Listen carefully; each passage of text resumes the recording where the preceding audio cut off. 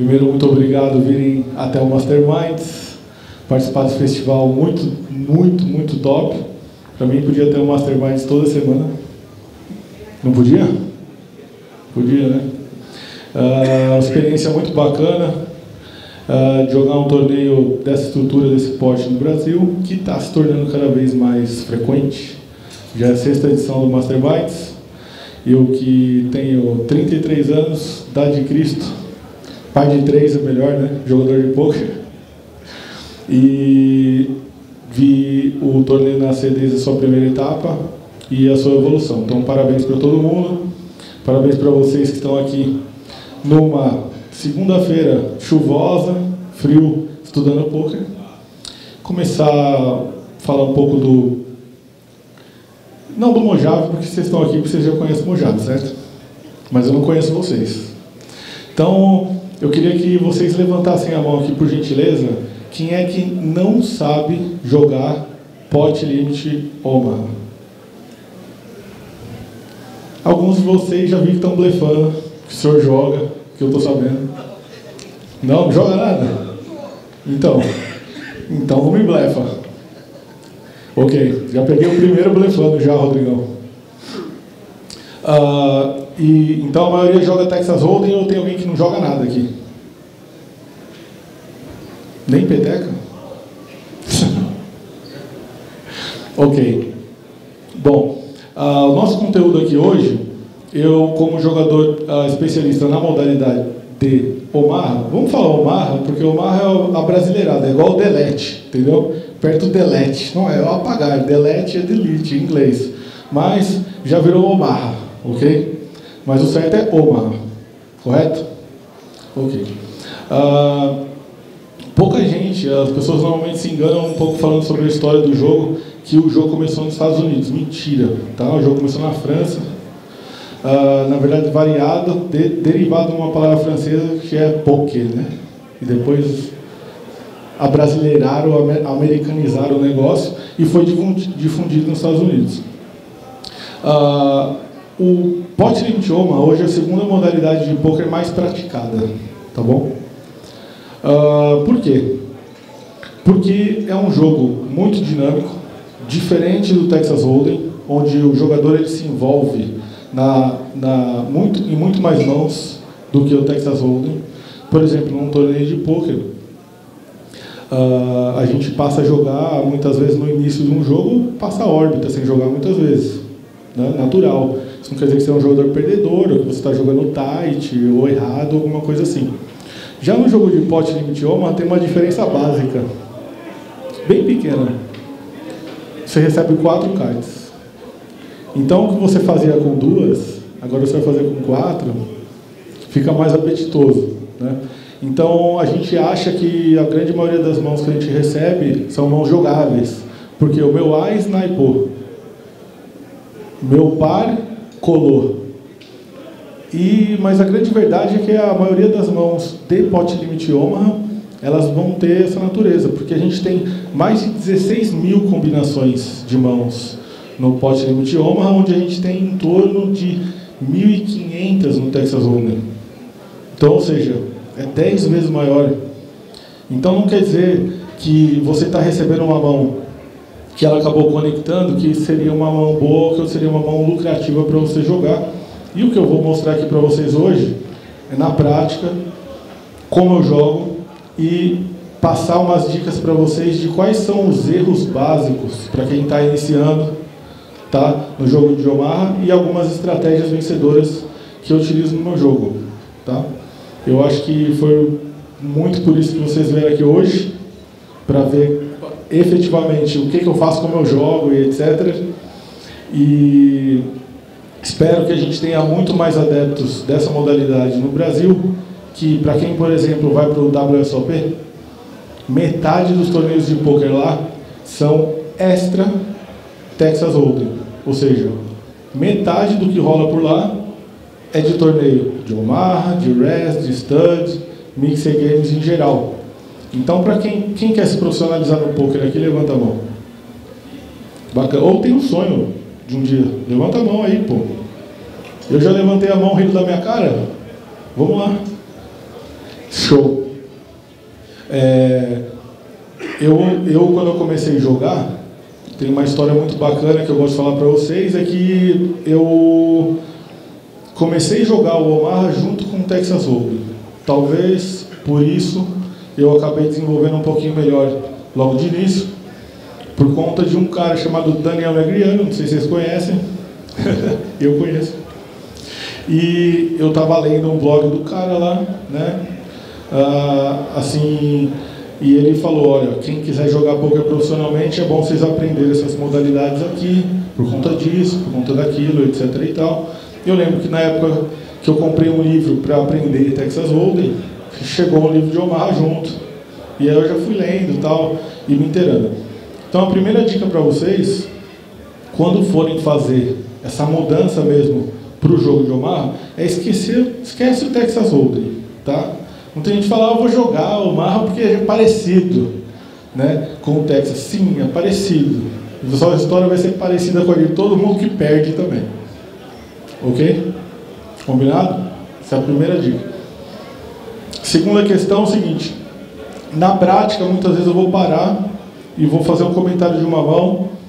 E uma das coisas mais legais de mostrar o jogo na prática direto para vocês é que vocês vão ver que o jogo ele é a dinheiro real e o que muitos dos jogadores. Ah, uma mesinha para mais, vamos lá.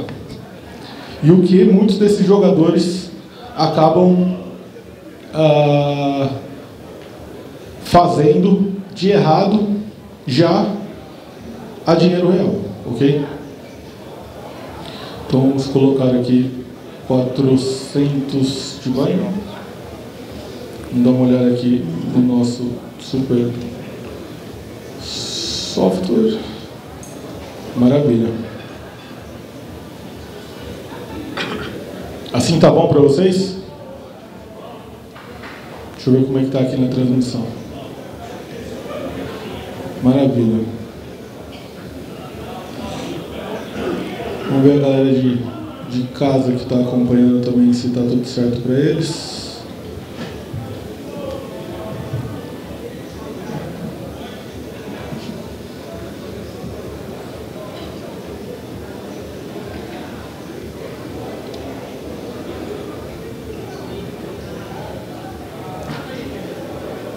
Para quem entende de transmissão, 80% de dropped frames não está muito bacana. Tá. Tá tá com delay. Mas está rolando. Tá? Show de bola, show de bola. Então vamos, então vamos para o que interessa.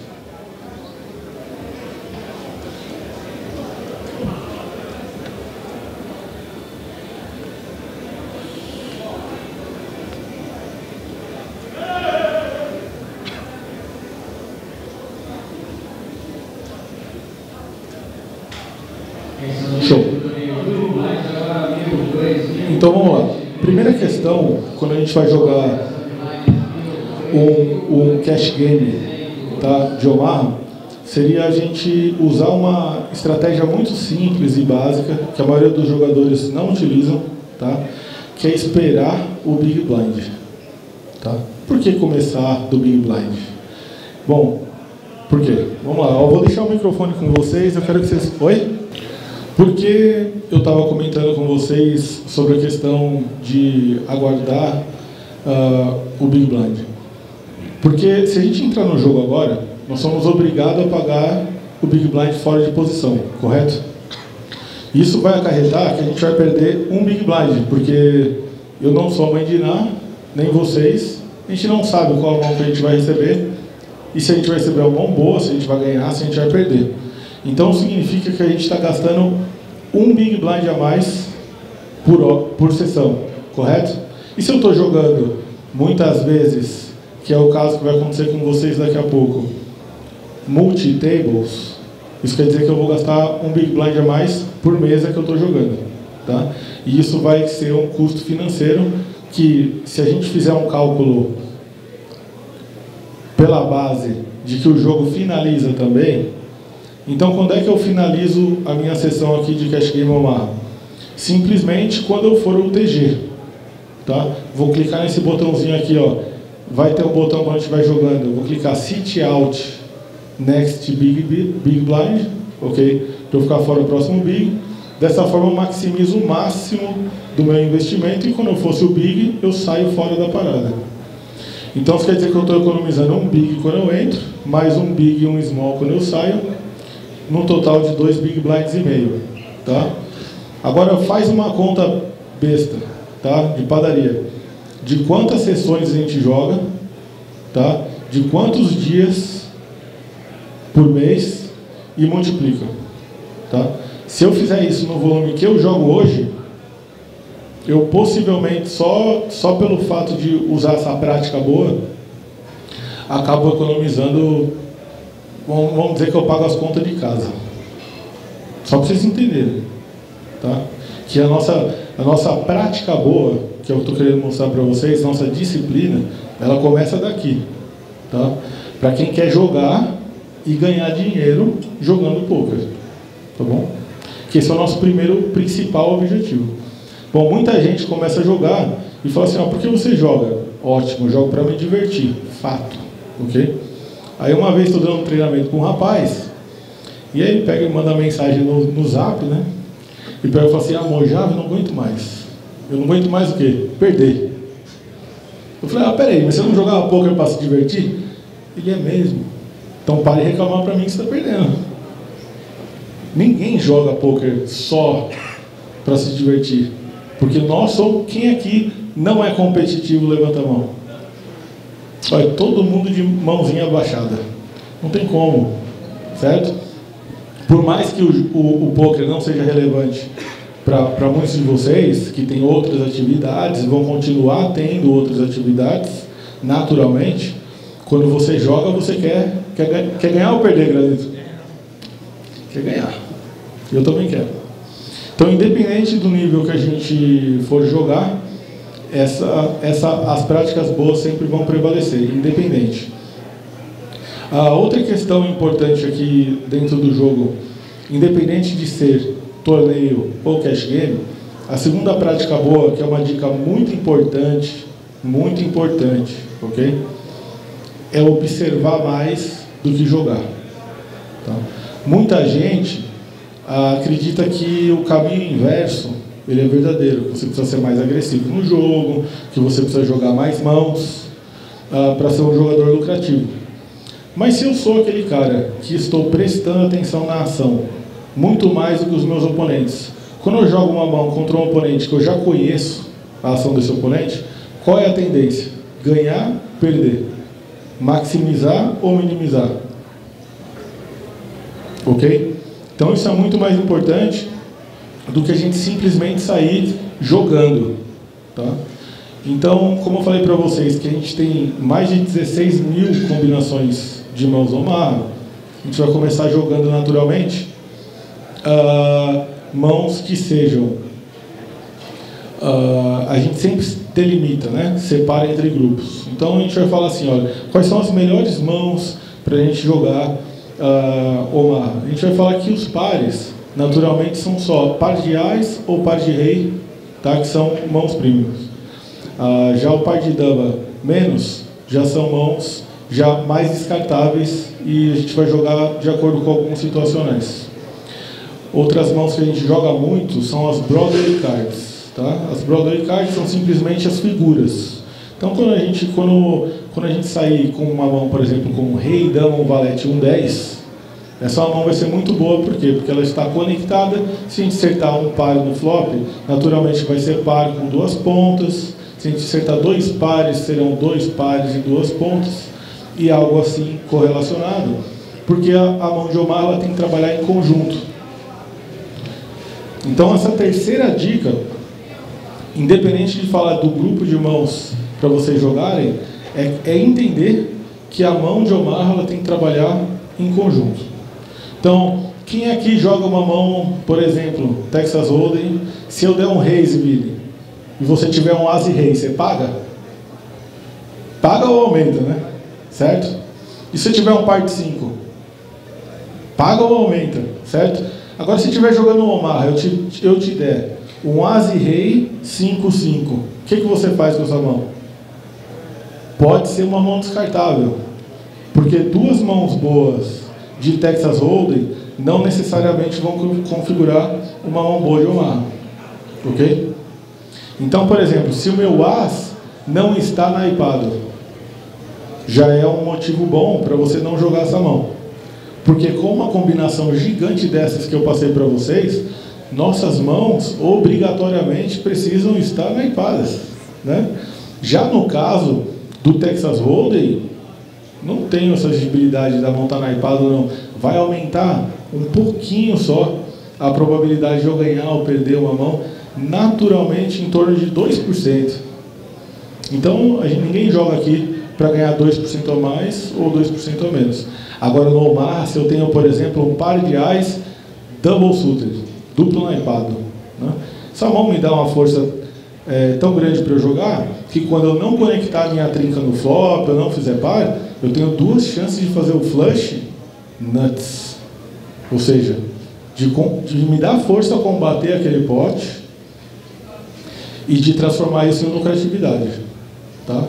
Então, eu queria que vocês pensassem, tá? quando a gente for jogar alguma mão aqui, que, e eu vou fazer essa pergunta diretamente interativa para vocês, se vocês acham que eu devo jogar essa mão ou não, se eu devo aumentar ou não essa mão, juntos. Tá ok? Combinado? Show de bola. Uh, outra questão particular do jogo, muito importante para a gente poder fazer é, uma analogia com vocês estão acostumados a jogar mais o Texas Hold'em, é que o jogo de Omar ele é pot limit, ok? Então, se eu quiser tirar o Vini do draw, que paga todos, no Omar, eu não vou conseguir, porque tem um limite, ok? Eu não posso dar away, tá bom?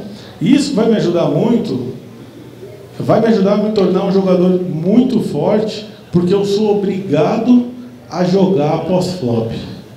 Sou obrigado a lidar com a textura de bordo que vai virar, com o oponente que vai pagar para um turn que vai vir. Então as mãos vão ser muito mais jogadas pós-flop, para turn, para river, do que no Texas Hold'em. E é justamente por isso que, vamos ver aqui uma outra mesa aqui, tem uma outra mesa abrindo também. Mas obviamente a gente vai jogar uma só.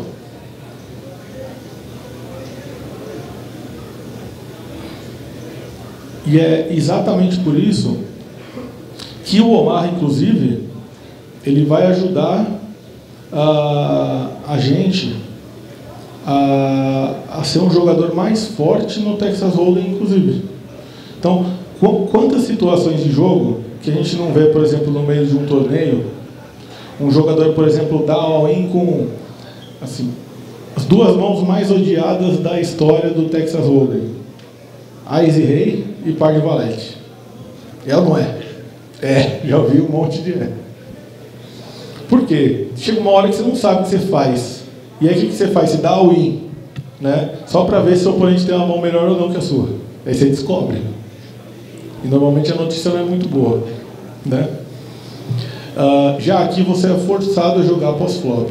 Isso vai te ajudar muito a, a melhorar suas habilidades como jogador de pôquer e fazer a leitura da mão do oponente, do range e situacional e etc., que é o que eu vou mostrar um pouquinho aqui para vocês. Tá? Independente do limite que a gente está jogando, vou até sair dessa outra mesa aqui, porque independente do limite que a gente está jogando, a ação vai ser a mesma. Tá? A ação vai ser a mesma. Obviamente, vamos adaptar aos jogadores. Tá bom? Porém, a ação é a mesma. Então, nesse caso aqui, a gente começou no Big Blind com uma mão que é um rei e dama, par de dois. Então, quando a gente for ler uma mão de Omar, é sempre de cima para baixo, tá bom? Uh, e a importância da exigibilidade da mão, ela, ela, ela está naipada nas maiores cartas possíveis. Não adianta nada, eu tenho um 4 e 2 naipado ali. Vou fazer um flush, eu vou sair metendo ficha? Não. Eu vou ter, olha quantos oponentes eu tenho nessa mão já. Eu tenho quatro oponentes, 16 cartas trabalhando contra mim. Será que alguém pode ter um flush maior que o meu?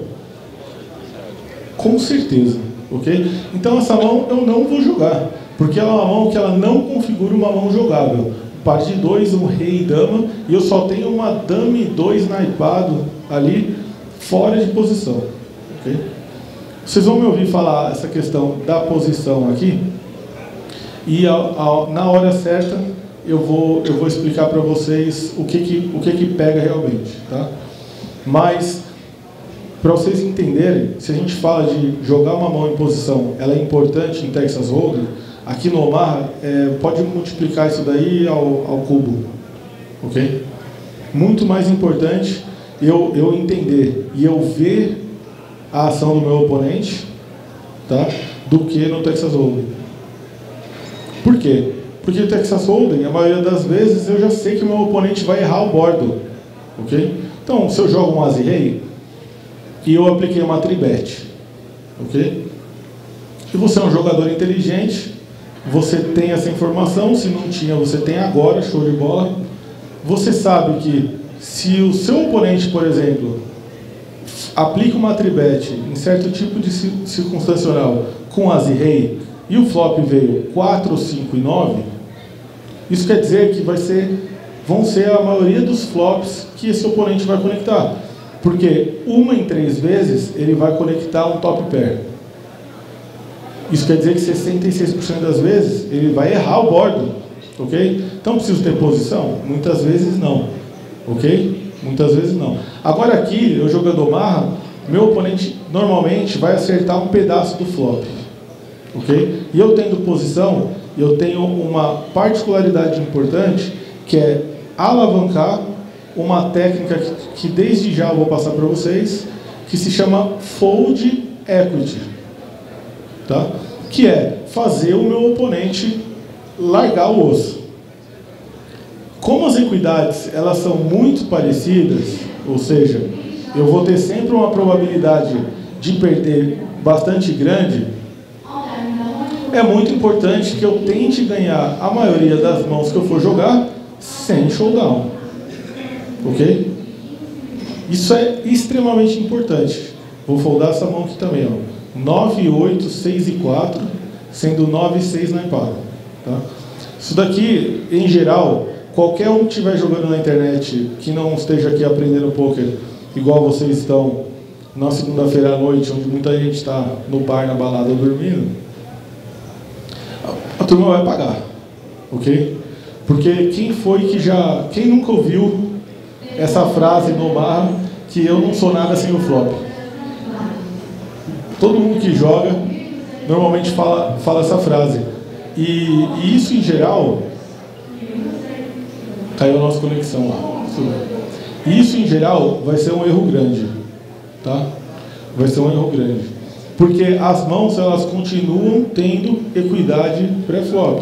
A, a mão bem jogada, a minha mão selecionada, ela vai ter uma probabilidade maior de ganhar do que a sua. Tá bom? Agora, um par de ais, em geral, no Texas Hold'em, a gente vai jogar, por exemplo, essa mão contra um range randômico e a gente vai ganhar 85% das vezes. É uma, é uma mão vencedora massiva, ok? Já aqui no Omaha, se eu possivelmente vou estar dentro de uma situação de coin flip, ok? Eu vou ter em torno de 60% de chance de ganhar uma mão com o par de A. Isso quer dizer que eu não posso agressivar demais ou jogar as mãos de Omar pensando em jogar um all-in pré-flop. Porque eu sempre vou ter uma probabilidade grande de perder, mesmo com par de. Tá? Existem algumas particularidades do jogo que mais para frente espero que elas, que elas aconteçam aqui. Eu vou migrar daqui a pouco de um jogo full ring, que é esse 9 max, para o 6 max, para vocês verem mais ação no jogo, tá bom? Então, nesse caso, a gente está observando ah, quatro oponentes aqui batalharem e chegarem no turn. Seis oponentes, né? Não sei onde eu vi quatro. Seis oponentes, o que é uma, uma questão muito particular do Omaha.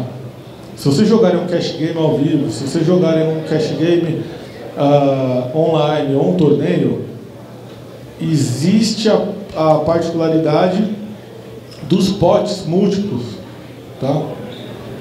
Porque todo mundo tem um pedaço para jogar, com quatro cartas na mão, tá? E isso não necessariamente configura uma mão boa para você jogar. Tá? Ah, por quê? Porque você vai ter que conectar com o flop. Se você não conectar com o flop, seu oponente conectou melhor do que você. Isso vai levar a uma tendência de você não ser favorito para ganhar essa mão.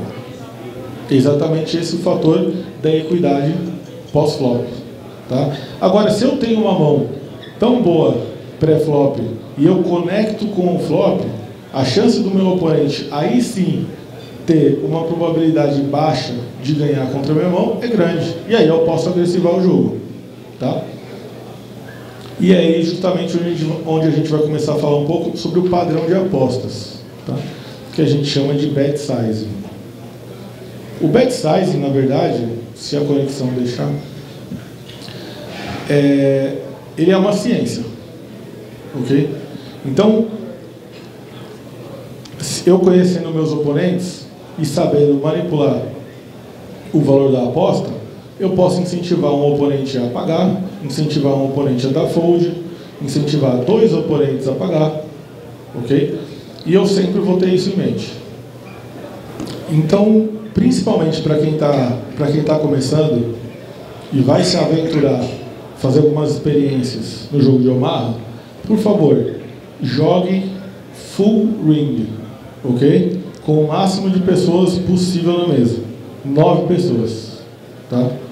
Por quê? Com a ação reduzida, com menos jogadores, nós somos obrigados a dar mais vazão na questão do starting hand. A gente vai ter que jogar um grupo de mãos mais aberto. E eu não vou conseguir entender efetivamente como é que o jogo funciona. Vou pular uma fase do jogo, tá?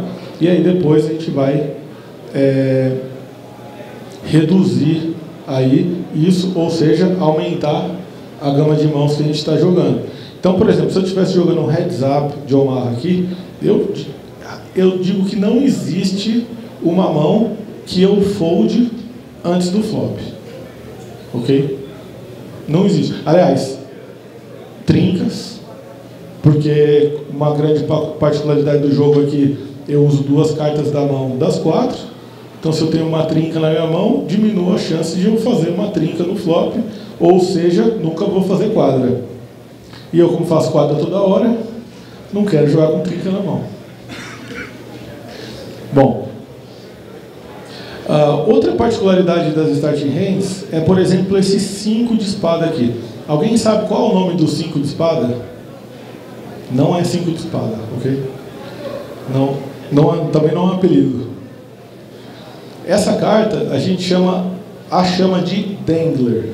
O Dangler é uma carta que não casa com nada, tá bom? É a mesma história quando você era solteiro ia sair o pessoal, ia sair o pessoal, sobrava sempre a feinha para você. Esse era o Dangler, ok? Não conecta, tá bom? Não, não conecta com nada. Então a gente precisa de um Dangler que ele seja pelo menos conectável. O que, que seria um Dangler conectável? Se o 5 de espada fosse um 5 de paus. Ok? E aí eu teria um flush para valete e um flush para 9 em uma mão sequenciada. Seria uma mão boa? Sim, configuraria uma mão jogável, principalmente da posição do cutoff. Tá? Agora, com esse 5 não conectando com absolutamente nada, eu, a chance de eu ganhar essa mão, ela reduz muito, tá? reduz é, drasticamente. Então, nesse caso, como vocês podem ver, não tinha chance nenhuma da gente puxar essa mão. A questão do rundown, olha como é importante eu ter um rundown sequenciado, porque eu fico dependendo de uma carta específica no flop, Tá? Então, naquele caso, precisava de um 6 no flop. Se o 6 não aparece no flop, eu não jogo a mão. Agora, se eu tenho uma mão que não tem esse gut shot, não tem esse buraco, eu posso jogar tranquilamente.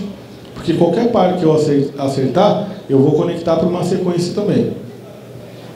Bom, as mãos premium, como eu falei para vocês, que são os ases e os reis, ainda assim precisam trabalhar em conjunto. Nesse caso, esse é um exemplo clássico, que é legal vocês verem eu dar fold nessa mão, como não tem nenhum fantasma. Eu tenho um par de rei com um 10 e um 5, nenhum naipe, essa mão é um lixo. Beleza? E, e eu vejo a turma literalmente se matando na wing, etc e tal, com uma mão dessa, pelo amor de Deus. Ok? Por quê? A minha única saída nessa, nessa, nessa mão aí, Granito, é trincar o flop e, e olha lá. E olha, o flopinho, ó, já estou morto já, certo? Não tenho como dar continuidade na mão. Agora, se o meu rei é de espada, aí, aí, fica, aí fica bonito. Aí fica bonito. Então, é, eu preciso pensar em quais são as probabilidades e as saídas que eu tenho para a mão que eu vou jogar. Tá bom? Lembrando que, como a gente sempre usa duas cartas da mão, se eu tenho só um 10 de espada na mão, tem quatro no bordo, eu não tenho flush. Ok? Eu preciso ter duas espadas na mão para usar três do bordo. Isso que vai configurar uma mão no showdown. E isso é, é, é, bacana de falar nesse momento, porque o jogo de Omar está crescendo muito. Tá? Eu passei agora a temporada em Dublin, em Mônaco, em Amsterdã. Existe um, o jogo de Omar está crescendo tanto que tem mil novas modalidades de Omar. Tem o Omar de cinco cartas, tem o Omar de seis cartas, tem o Omar High-Low, tem o Omar Courchevel, Sexto Pô Omar, tem de tudo, ok? Então tem muita ação no jogo, em geral contra oponentes menos qualificados, porque o Texas Hold'em é um jogo mais simples de se entender. Ok? Sentou no home game, explicou um joguinho aqui para um amigo, todo mundo, eu comecei a jogar assim, né? Então, aqui também é uma mão foldável, tá? E, e, e já no Omar, fica muito mais fácil da gente cometer esses erros, precisa um pouquinho de mais horas de voo para poder entender o jogo. E é por isso que vocês estão aqui hoje estudando e a tendência é que vocês ganhem uh, e joguem, por favor, que é a primeira dica, contra quem sabe igual ou menos do que vocês. Tá? Essa dica é muito importante. É, ah, faria full house no flop. Tá? Essa é uma condição que no Omar, se você for falar isso, você vai virar um papagaio. Então você vai falar o dia inteiro. Tá? Ah, fazia full, ah, trincava, ah, não sei o que lá. É óbvio. Né? Você tem quatro, vira três, toda hora você vai acertar alguma coisa. Tá? E isso não quer dizer que você jogou a mão de forma correta ou de forma. Uh, uh, aliás, não quer dizer de forma alguma que você jogou a mão de forma correta. Tá? O importante quando isso acontece é uma dica primordial. Eu descubro quem são os blefadores. Peraí, eu não sei que eu, eu sei que eu tinha mais na mão. Não tinha? Olha lá. Se um cara aposta e o outro paga, esse cara tem. Certo? O, alguém está blefando. Ok? Por isso que eu falo, ficar do lado de fora do jogo e observar com tanta informação que eu tenho é muito relevante. Assim como, por exemplo, vamos supor, eu não joguei essa mão. Todo mundo está vendo que eu tenho o as de ouros, esse as de ouros, que não naipa, a gente chama ele de vários apelidos, tá? Normalmente de nuts blocker, tá? Aqui no Brasil muitos chamam de as careca, certo? E eu sei que ninguém pode ter, se virar três cartas de ouros no bordo, que ninguém vai ter o flush em ice, ok? Esse é mais um racional que eu vou alavancar para o jogo de Omar quando eu estiver na mão. Vamos supor que eu tenho uma mão ali que é As, Rei, Dama e 10. É uma mão boa? Uma mão boa. Ok? E o meu Rei 10 está naipado, só que dessa vez o As não estava. Mas mesmo assim eu joguei. Porque eu tenho quatro cartas para Broadway, igual eu falei no início. Tenho um Rei naipado. É uma mão boa. Virou três cartas de ouro no bordo. Posso blefar essa mão? Devo blefar essa mão? Porque eu entendo que ninguém tem a probabilidade de ter um flush nuts. Então fica mais fácil da pessoa foldar. Correto? Uh, Mais uma questão uh, particular aqui do jogo, como vocês mesmos já, já perceberam aqui, é que pelo fato de sempre termos potes múltiplos, tá? Potes múltiplos, é, a gente vai ter uma questão que a gente chama no, no, no poker de pot odds, ok? Normalmente eu vou ter que investir muito pouco para ganhar um pote grande. Mas a grande questão por detrás disso é saber, vou eu continuar após o flop ou vou desistir após o flop? Ok? Então preciso ter mãos que trabalhem bem no flop e que tenham um desempenho bem para turn e para o river. Tá? Então muitas vezes que eu conectar um flop muito bom, exemplo, tá? É, mais uma mão ruim. Eu tenho, isso é importante para vocês aprenderem que tem que foldar bastante. Tá? Eu tenho uma mão, por exemplo, que é o 10 valete, ok? Valete 10, 9, 8, tá? É o que a gente chama de wrap ou rundown, tá bom? E o flop virou, por exemplo, 7, 8 e 9. O que, que eu fiz? Eu fiz uma sequência no flop com 10 valete. Agora, o meu oponente, que ele tem 10 valete e uma dama na mão, ele tem a probabilidade de virar um 10 ou um valete no turn e fazer uma sequência maior que a minha. Okay? Então, um erro muito comum, dos principais que eu posso apontar para vocês que estão começando agora, é flopar o nuts, ok? Ou acertar a mão muito forte e ficar macho. Por quê? Se o bordo tiver redraw, que é uma situação de jogo onde a gente fala que ele pode melhorar, que o bordo pode melhorar, a gente tem que tomar muito cuidado. Porque o Rodrigo ele pode ter também o 10 valete com a dama e o rei. Ele pode ter um 10 valete, por exemplo, com o que a gente chama de backdoor. Nesse caso, nesse bordo aí, seria um 10 valete, por exemplo, de pausa. Olha lá o backdoor. Ó. Abrir um flush draw para o turn agora e eu só tenho a sequência. Eu não tenho o flush draw. Agora eu estou no, no, meio de uma situação onde ou eu empato ou eu perco. Não pode ser bom para mim. Ok? E muitas vezes quando eu empatar, eu posso até dividir essa mão com mais de um oponente. E quanto mais oponentes eu tiver, melhor eu ter os redraws, porque eu tenho saídas para poder ganhar esse pote inteiro. Essa já é uma técnica importante para quem for jogar o Omaha High-Low, onde a gente divide o pote em dois, de asa a 8 é o low e o high é o Omaha normal que a gente está acompanhando aqui. Sempre em pensar em ganhar o pote por completo. Tá? Ah, a gente vê ah, aqui a sessão do turn que um oponente que dá esse call aqui no meio da ação, raramente vai pagar essa aposta. Tá? Ele paga, vira um pote ali de 44 dólares e ele sobra com 8 dólares e aqui sobra com 18. Nenhum dos dois oponentes estão jogando bem. Porque a gente não pode construir um pote tão grande e ficar sem fold equity. Tá bom? Olha lá, vamos dar uma olhada no replay dessa bomba. Deixa eu foldar isso aqui primeiro. Ó, esse oponente acabou fazendo um full house de 8 com 7. E aqui estava para os dois flush draws com pai de rei. Deveria ter pago essa aposta no turn?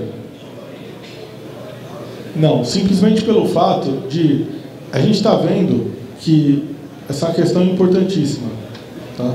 No Texas Hold'em a gente acaba confundindo isso, mas passa. Aqui não pode confundir porque significa só perda. Tá?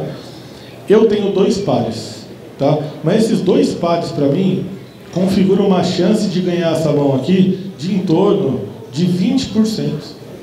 Aí eu vou olhar para o bordo e vou falar assim, caramba, mas eu não posso dar fold. Eu tenho dois pares. Só que dois pares significam 80% de chance de perder. Porque o meu oponente, qualquer carta que ele conectar, ele faz dois pares maior. Tá? Qualquer carta de paus, qualquer carta de ouros que é metade do baralho, eu perco. Ok? Uh, então a gente tem que pensar simplesmente na equidade da mão, que é a probabilidade de eu ganhar, não a mão que eu conectei. Tá? Por esse fato, a outra dica importantíssima é que os overpairs e os top pairs, em geral no Omaha, são mãos descartáveis. Tá bom? Então eu fui lá e abri um raise, eu tenho Ais e Rei, Dame 10. Double suited, bonitinho. Tá? Aí o flop bateu. Ais, 5 e 6, com 5 e 6 de copas, eu não tenho copas. Estou animado com esse flop? Não estou animado com esse flop. Eu só acertei o top pair. Ok? Eu tenho quatro oponentes, 16 cartas trabalhando comigo, contra mim. Alguém trincou o 6, alguém trincou o 5, alguém está para seguir para baixo, outro para seguir para cima, outro para o flush, outro para o backdoor do flush. Ok? Então a minha probabilidade de perder ela é enorme. E outra questão particular do Omaha também é que existe isso daqui que vocês acabaram de ver. Muitos limps, tá? E essa não é uma prática errada, é uma prática correta. Tá? Então você quer jogar o Omaha, quer aprender e desenvolver o jogo, não precisa ficar aumentando o jogo toda hora. Pode pagar o blind e ver um flop, tá? Não tem nada de errado nisso. Onde num torneio de Texas Hold'em, por exemplo, isso seria um erro básico, ok? Porque é muito importante para a sua manutenção roubar os blinds. Mas por que no Omaha a gente não faz isso? Pela particularidade do jogo ser pot limit e não conter antes. Então não preciso ficar roubando blind toda hora, porque a minha lucratividade para roubo de blind ela foi realmente diminuída. Tá bom? essa não. Eu vou, eu vou explicando para vocês e vou deixando vocês fazerem as perguntas. Primeiro nome. Ike. Ike. Obrigado. É, não, você vai perguntar se essa mão ela seria descartável antes do flop, se não tivesse no Big Blind, certo? É, em geral, as mãos que estão conectadas, é uma regrinha básica. A mão está conectada e ela tem par, mesmo não tendo flush, a gente joga a mão. É bom. Por quê? Porque ah, muitas vezes, e a maioria das vezes, teremos mais outs para fazer o straight, conectar a sequência, do que conectar o flush. Ok? Já é o contrário no Texas Hold'em. Minha chance de fazer o flush é maior do que acertar as duas pontas. Ok? Tenho mais outs para o flush. Aqui eu posso ter mais outs para a sequência.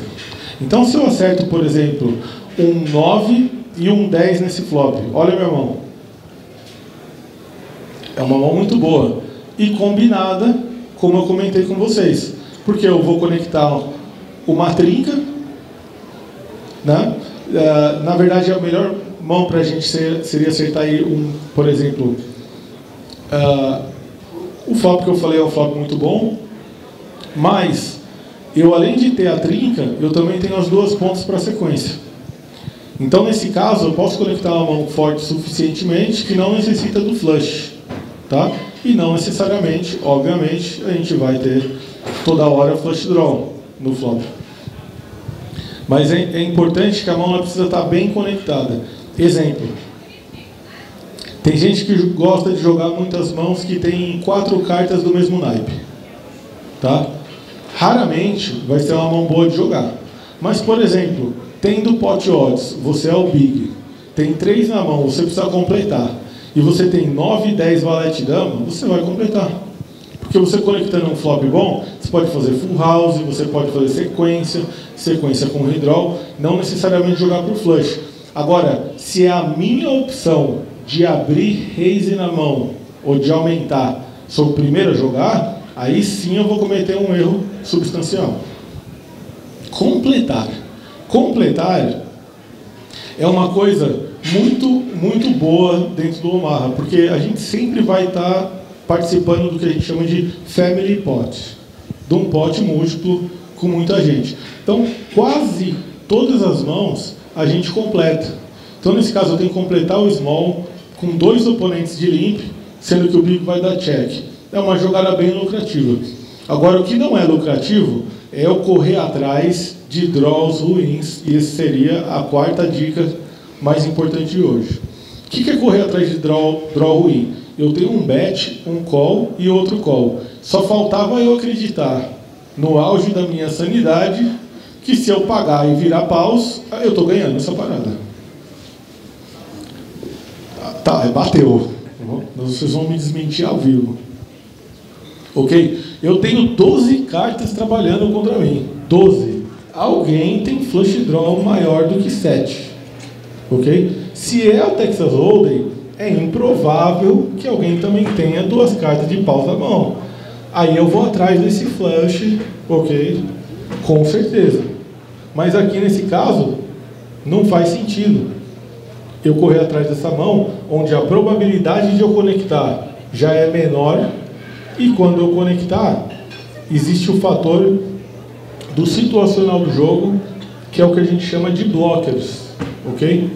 Se eu tenho, por exemplo, duas cartas baixas para correr atrás de um flush, muitas vezes eu estou segurando o flush de virar e isso é bom para mim.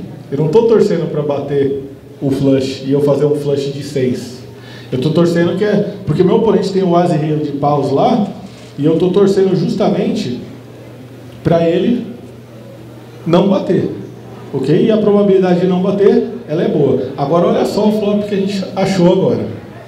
Nesse caso, eu dei o call de limp, que é um big blind, porque eu estou na melhor posição da mesa do botão. O botão, vocês estão no treinamento do Mojave, não tenho papas na língua. Gente joga quase tudo, beleza? Quase tudo, tá?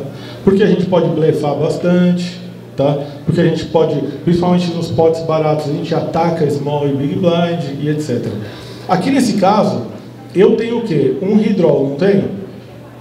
Eu vou aplicar um raise porque eu tenho uma sequência no flop com 6 e 7 e estou defendido por um flush draw. Que nesse caso aqui eu não sei se ele é bom ou se ele é um blocker. Não sei ainda. Estou avaliando essa textura.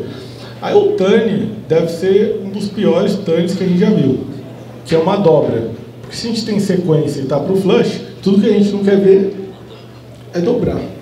Então a gente vai dar check e controlar esse pote aqui. E o river dobrou outra vez. O que acontece? Quando o River dobra, aí é bom para nós.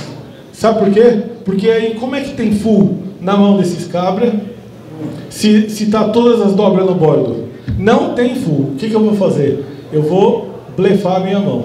Ok? Por que blefar a minha mão? Eu vou forçar alguém que tem 6 e 7, dar fold nessa mão e eu ganhar o pote inteiro sozinho. Lembra que eu falei isso para vocês antes?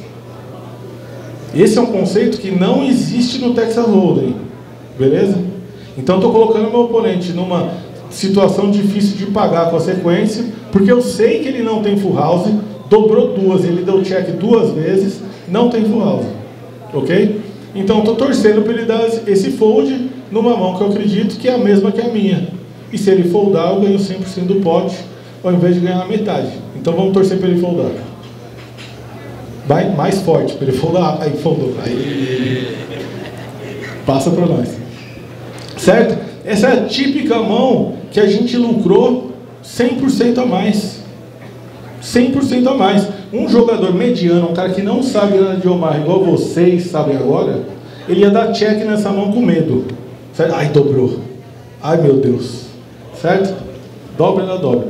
Então, como a ação está short-handed, olha só o que, que eu falo ação short-handed. Eu tenho um oponente à minha esquerda e só o small e o big, eu vou aumentar aqui três vezes o blind com uma mão mediana, porque eu preciso jogar. Aí agora eu tenho menos oponentes na, na mesa e eu preciso abrir o meu range.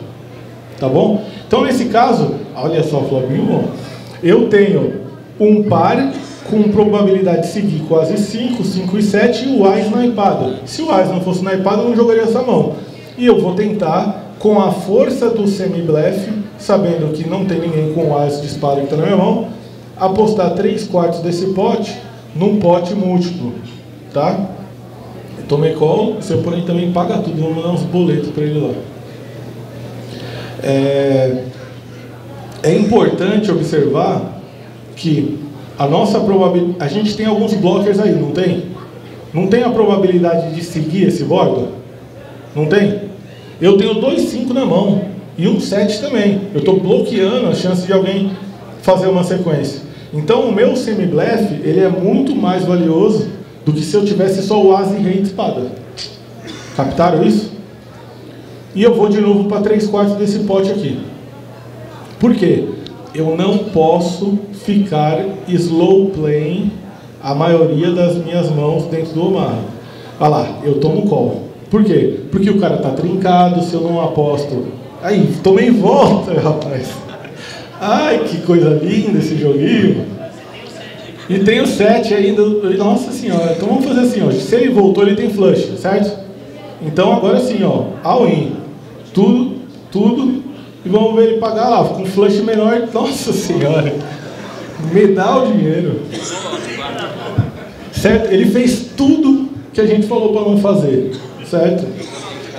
Mas Isso. aquele cara que o 7 8 lá. Aí, aí eu gostei. Qual que é o seu nome? Rafael. O Rafael falou uma, uma questão importantíssima, que é prestar atenção no jogo. Ele já sabia, ó, que era o cara que fez uma bobagem ali, que cometeu um erro lá, e a gente sabia disso. Então ele volta com o flush em 10, ou seja, quinto nuts, certo? Perde para o baralho inteiro, né? Tem trinca na mão, na mão que ele não deveria ter jogado, e perdeu. Sabe o que ele está falando lá na casa dele? Sabe o que ele está falando? Não, é. Pro Poker Stars bate tudo, isso, isso eu ouço toda hora. Mas o que eu estou querendo dizer é o seguinte, ele está falando, olha, eu sou azarado nesse jogo.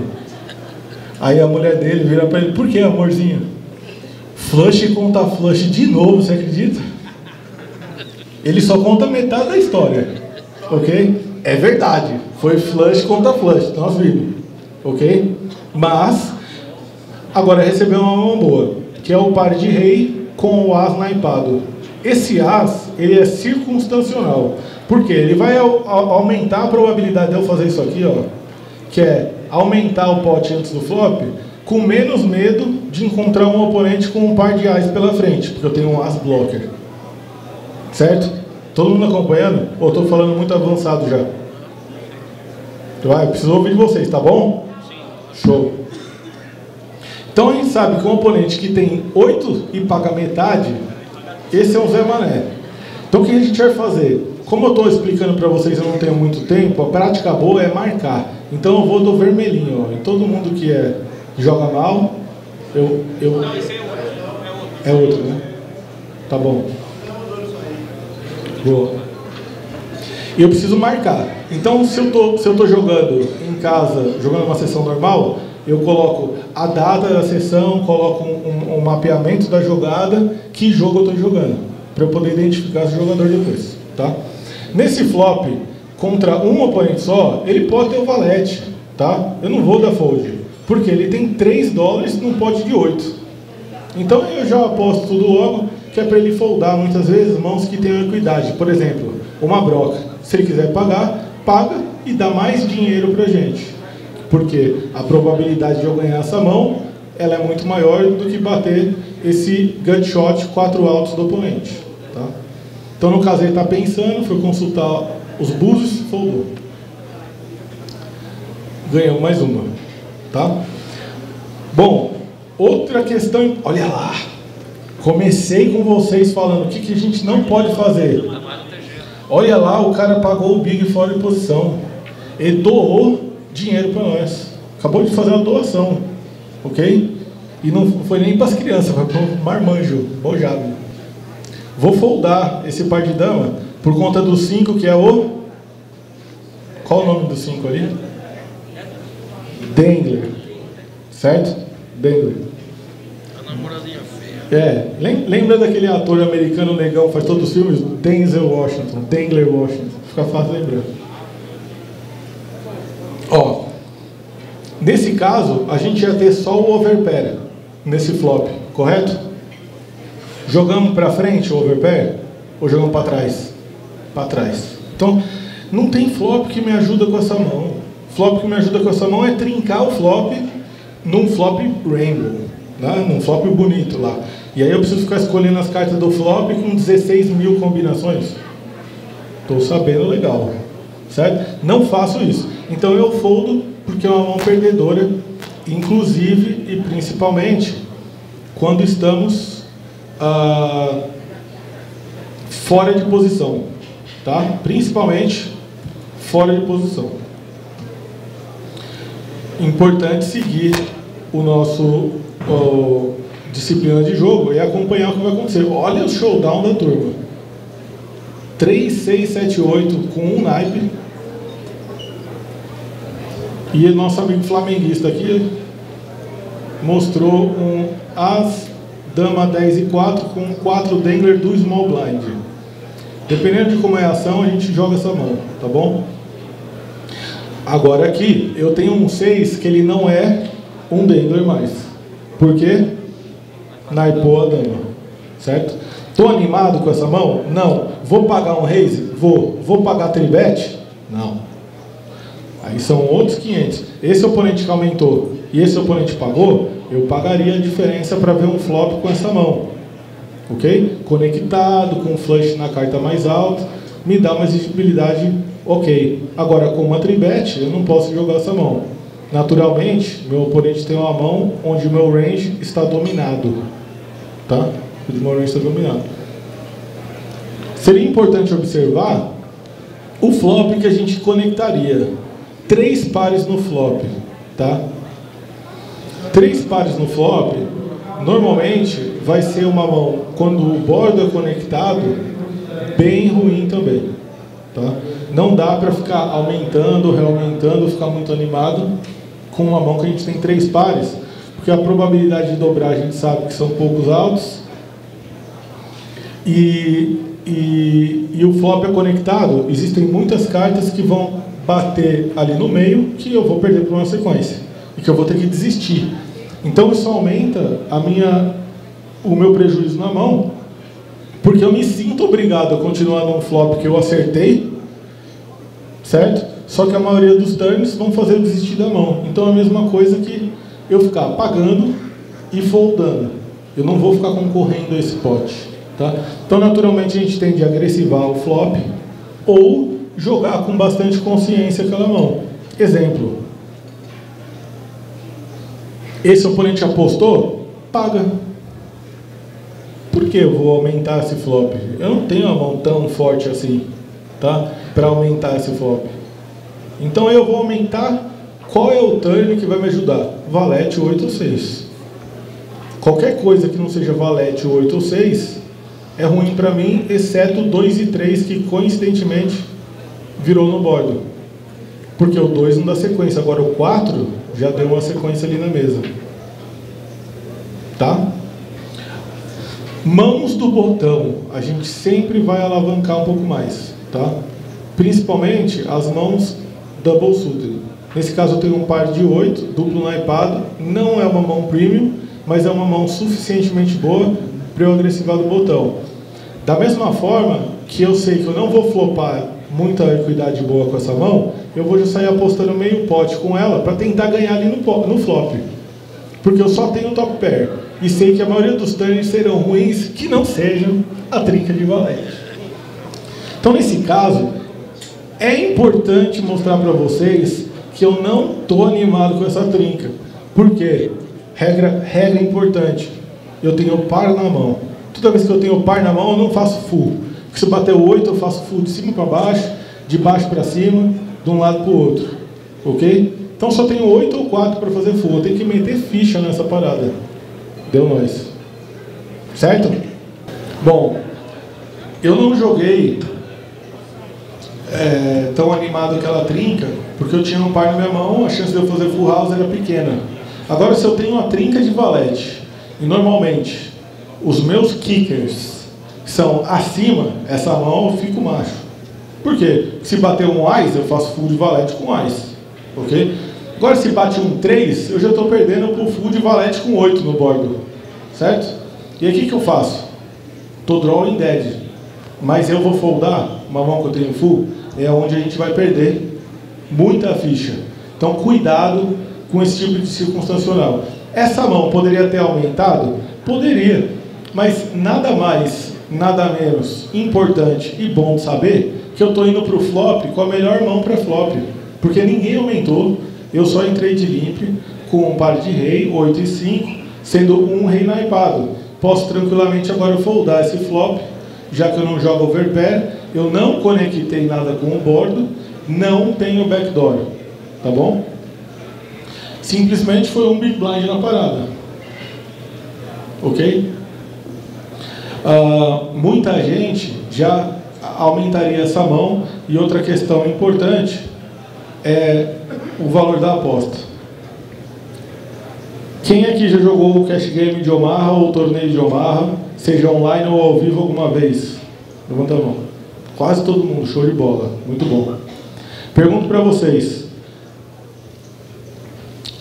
de 100 vezes que vocês jogaram uma mão, quantas vezes vocês ouviram a palavrinha mágica pote?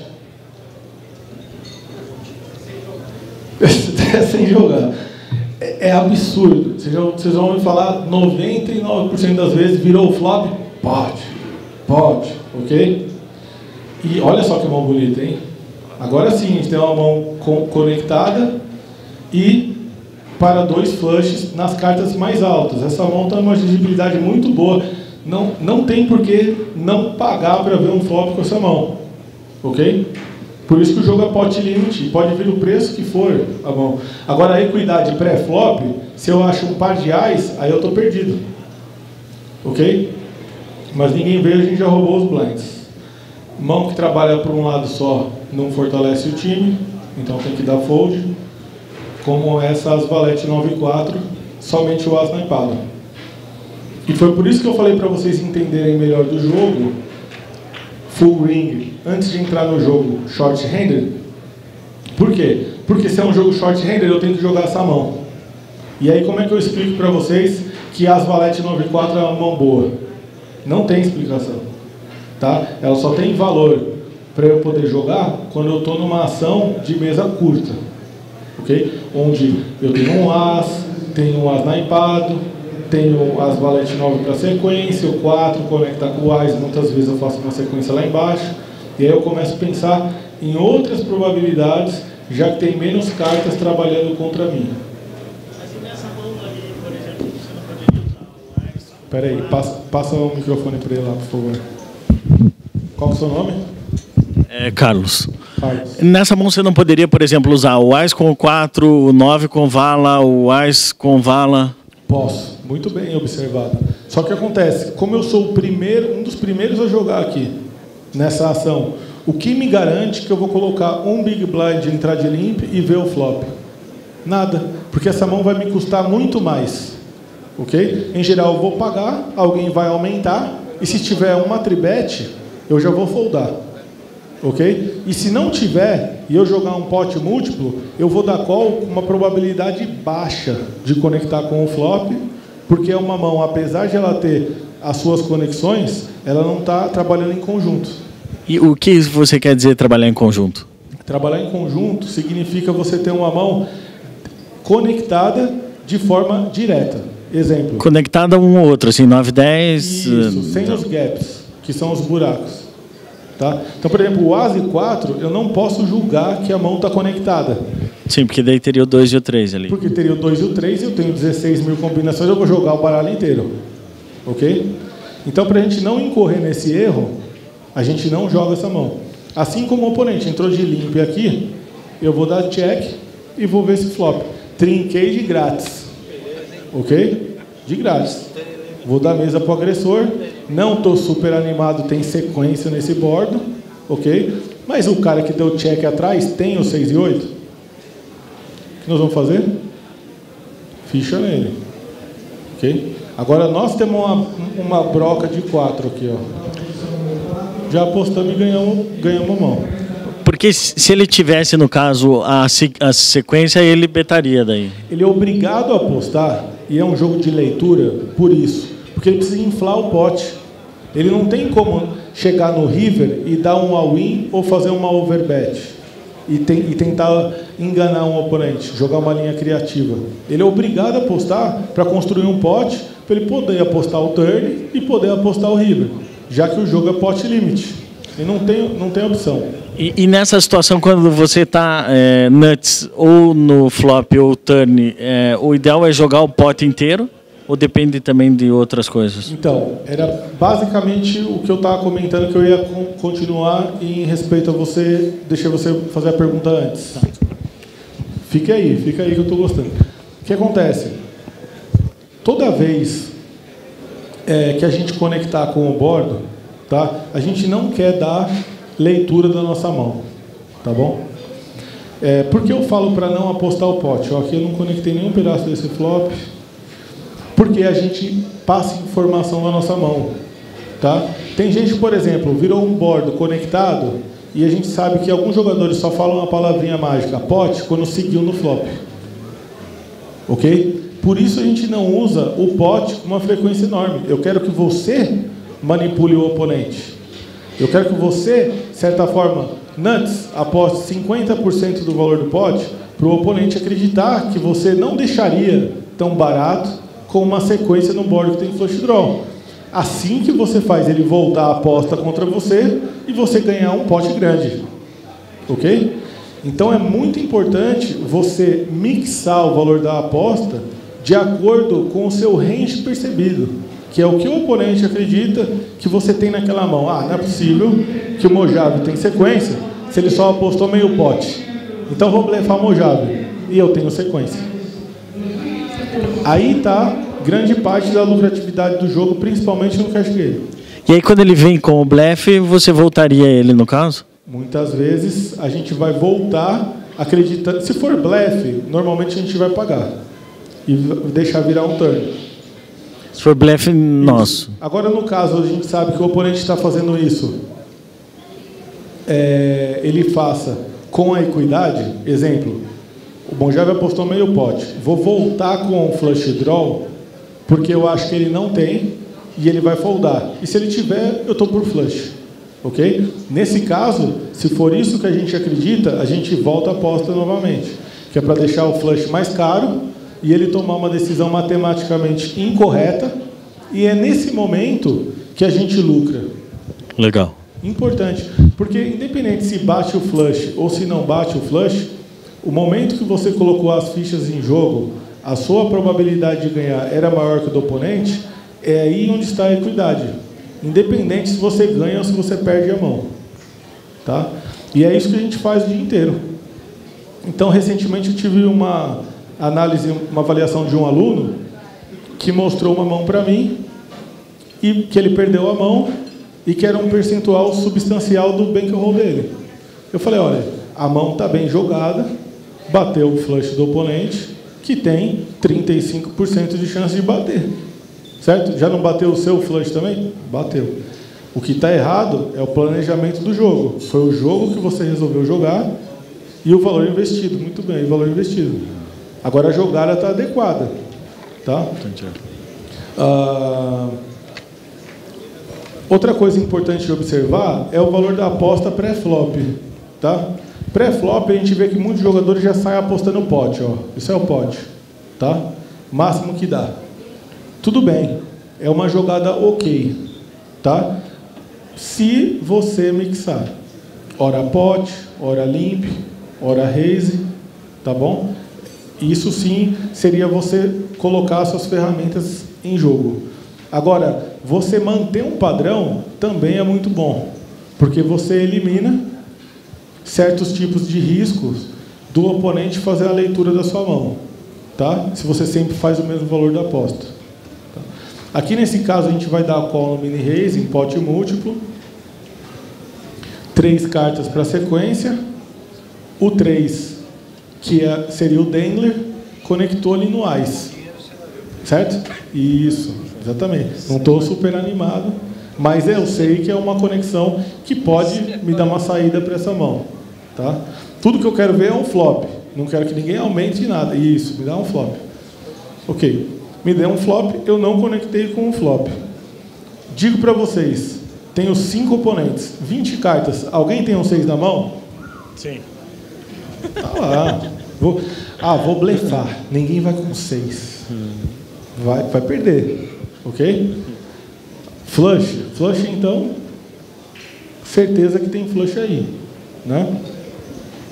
Uh, outra coisa que me inibe a blefar é o fato de eu estar no meio do bolo aqui. Estou ensanduichado, não tenho posição, então sou obrigado a, a dar fold. Agora pergunto: oponente que aposta um num pote de três, com cinco oponentes, tem full ou tem quadra? ou é full ou é quadra. Ok? Porque ele está muito chamando o jogo. Né? O cara que tem o flush aí, ele aposta mais alto, justamente para inibir algumas mãos de jogarem contra.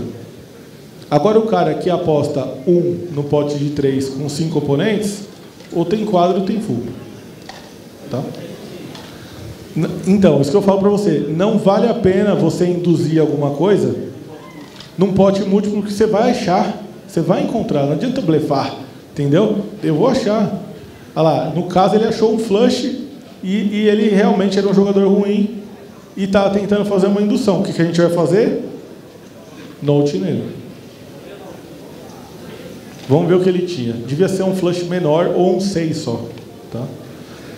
Vamos foldar aqui. E esse exercício que vocês têm que fazer antes de olhar o showdown. Alguém acha que ele poderia ter alguma outra coisa que não seja um 6 ou um flush menor? Não. É, tem que ser alguma coisa aí, entendeu? É, se for um blefe seco, é muito ruim. Manda a limousine buscar o helicóptero para jogar um jogo com nós aqui no Mastermind. Né? Caro de preferência. Olha lá, batata. Flush menor. Ok? Ah, como é que você consegue fazer uma leitura dessa? Tem 16 mil combinações no baralho. É evidente. Fica evidente com as técnicas que a gente está usando em fazer a leitura da mão do oponente. Ok? Isso porque nós não temos nenhum blocker. Ó, blocker de nada. Se eu tivesse um 6 na mão, eu ia pôr ele no flush, não ia? Se eu tivesse um ás de ouro na mão, eu ia pôr ele no full, não ia? Eu não tinha. Ok?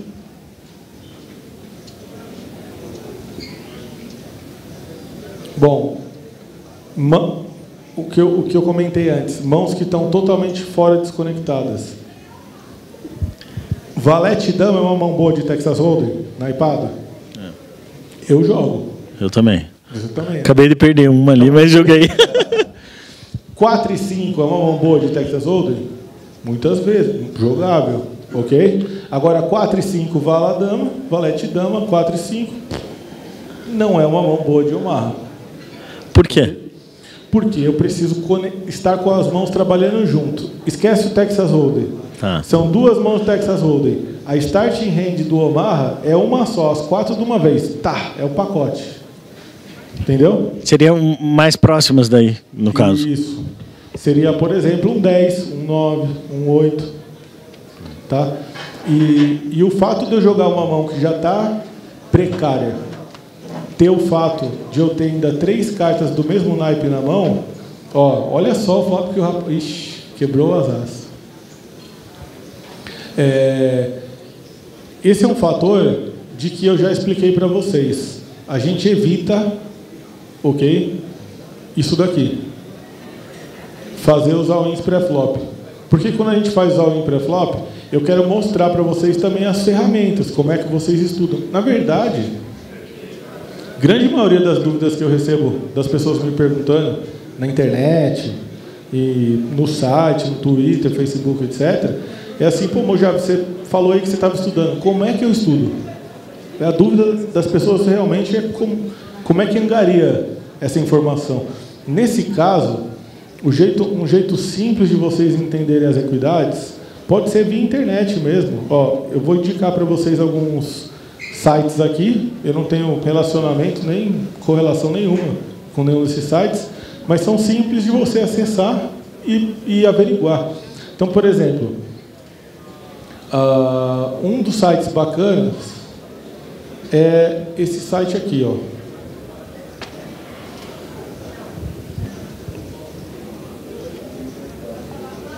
propokertools.com, tá? Você vai abrir o site, lá, tem o par de dama sem naipe, num bet e tribet, eu vou foldar. Ok? Ninguém vai foldar essa mão no cash game em geral. Só de foldar a gente lucrou. Ok? Só de foldar a gente lucrou. Vou observar aqui o que vai acontecer. Check, check. Lead no turn, oponente foldou. Mais uma mão lixo. Que, eu só, que alguém aumentou, eu já vou clicar no fold aqui e vou para a próxima. Tá? Você vai clicar aqui, ó, Online Equity Calculator. E você vai clicar no, no game aqui, ó, Omaha High. E vai colocar as mãos. Certo? Clique em simular. Você vai trazer a equidade de uma mão contra a outra. Você lê o range do oponente e depois calcula aqui para fazer o exercício. Outra ferramenta é no site da Card Player Internacional, que também tem um aplicativo, tá bom? Que você vai clicar aqui, ó, Poker Tools, Odds Calculator, tá? Você clica aqui, Omaha, e aí tem as mãozinhas mais fáceis para você clicar. Esse aqui é mais intuitivo, é mais facinho de trabalhar. O outro você precisa colocar, por exemplo, se é paus, Czinho de clubs, que é paus em inglês. Ok? É, muitos deles fazem um cálculo meio muito básico. Tá? Estou te indicando dois aqui que eu confio que eu sei que a conta está certa. Tá? Aí você vai fazer o seguinte, ó. Volta aqui, ó. Vamos calcular aquela mão lá, ó. As, as 4 e 7. Nenhum A snipado. Beleza? Então vamos colocar aqui, ó. As, as 4 e 7. Beleza? E a mão do oponente, ó. 4, 5, 7, 8 double suited. 4, 5, 7 e 8 double suited. Ok? Vai calcular a equidade. Olha só, isso é um coin flip, famoso flip, ok? 60-40 no max, 56% de chance de ganhar. Isso aqui é um par de dama contra o Aze off, ok? Então, só que no Omaha tem diversos pares de, pares de dama, diversos Aze off, ok? Então, não é o tipo de situação que você quer ficar se envolvendo onde você não sabe para onde as fichas vão correr, vai depender do outcome da mão. Agora, se você faz isso o dia inteiro, todo dia, milhares de mãos, você sempre vai ao com par de ais. Porque aí você vai tomar os 6% de equidade. Ok? Aí você vai pegar aqui esses 6% a mais. Isso quer dizer que cada win que você dá, você lucra 6%. Aí você está sofrendo e abraçando uma variância grande no jogo, onde num dia você pode perder 10 mãos seguidas dessa e ficar menos 10 no seu BR. Mas no mês, a tendência é que você lucre 6% desse tipo de jogada. Tá? Se, dependendo do valor que você joga, tá? se for 6% de 100 mil, são 6 mil dólares no mês. Ok? Bom, uma mão boa, porém mediana, decidia entrar de limpe. Já não falei para vocês que a gente pode fazer esse tipo de jogada? Nenhum problema, entrei de limpe. Olha lá, virou um flop nada com nada. Quando eu entro de limpe, eu só paguei 25. Não viu o turn. Ok? Aí o turn embrulhou para presente. Ok? o turn foi muito bom. Aí o turn eu posso sempre blefar, porque agora eu tenho um wrap, ou seja, possibilidade grande de fazer uma sequência, sendo que não virou, tá? Não virou. Esse blefe é bom? Nem, em geral, não, porque virou o que a gente não tem. É flush e a dobra. Então a chance da gente ser pago aqui é muito grande. Isso seria um blefe ruim. Então a gente vai da mesa e desistir da mão. E lá, o oponente tem o valete com que querás capaz de pagar. Ok? Capaz de pagar. Bem provável que pagaria.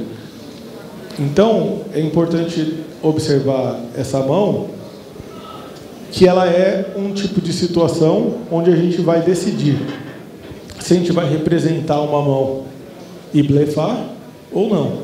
Nesse caso, seria um blefe muito ruim e nós seríamos pagos. com uma probabilidade grande. Tá?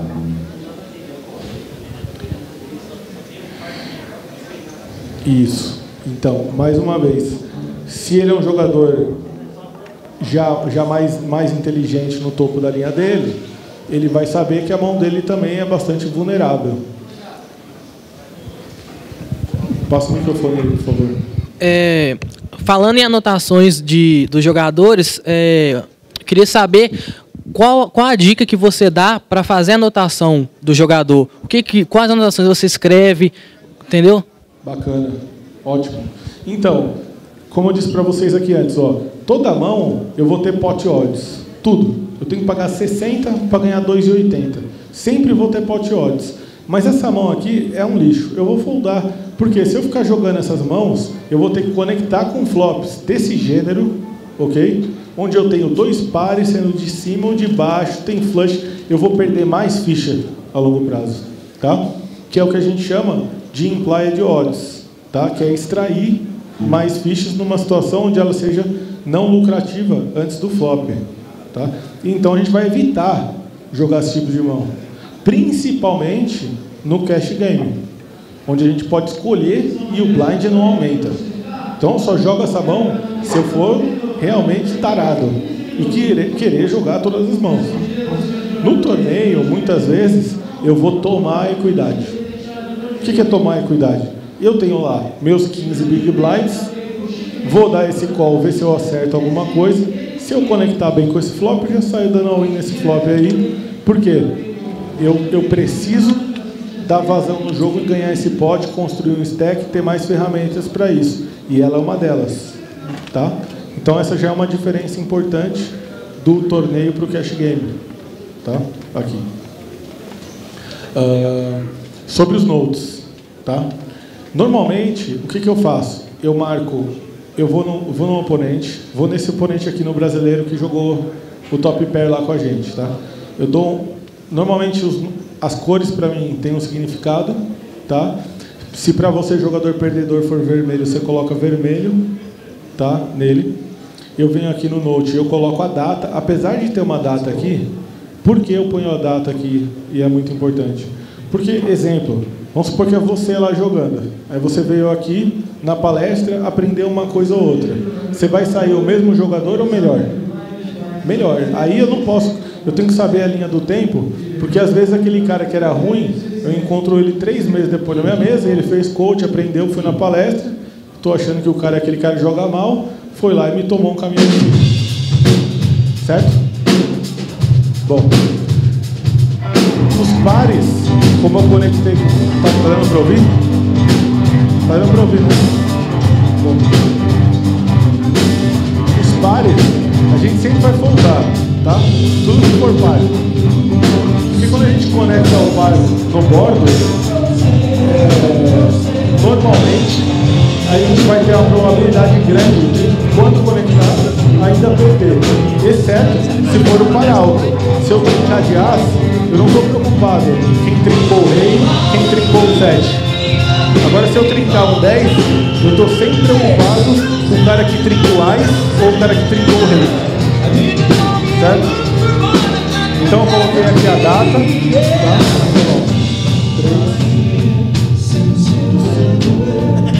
de 2016. Vou colocar uh, ali também a, o jogo na sequência, tá? Ó. Cash, uma, certo? Coloca o jogo e aí debaixo do jogo eu coloco as ações, tá? Então coloco assim, ó.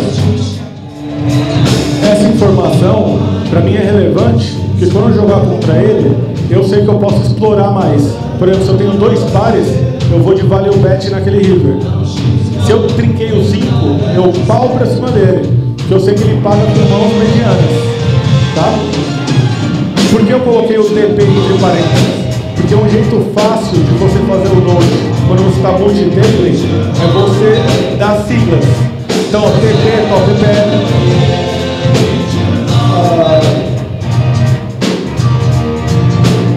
FD, flash draw, certo? Fica mais fácil de você digitar. Aí você não digita tudo, coloca só assim. Tá? Se porventura você encontrar com ele em outra situação, você vem aqui embaixo e faz assim, ó. E põe outra situação de jogo. Tá? Que aí quando você passar o mouse em cima dele, aqui ó, vai trazer.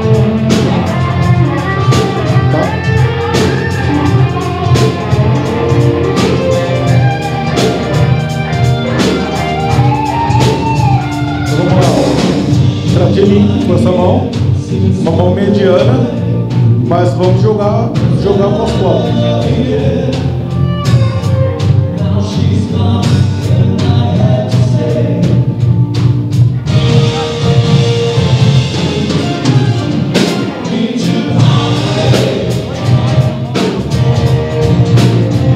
Então, qual o seu nome?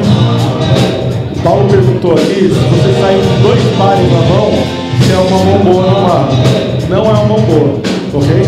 Porque você só vai jogar para trinca. É muito melhor você ter uma mão com três cartas conectadas e para flush com um par do que dois pares. Os únicos dois pares que são bons é de ás e de rei com outro par. Par de ás com par de sete. Par de rei com par de dois. Ok? Todas as outras mãos são ruins. Por exemplo, 10, 10, 6, 6. Vou pagar para ver se eu trinco. A maioria das vezes você paga, trinca e perde. É isso que acontece. Você não tem para onde correr na mão, depois você trincou. Entendeu? Nunca tem backdoor, nem para straight, nem para flush. Tá? Então aqui eu vou foldar.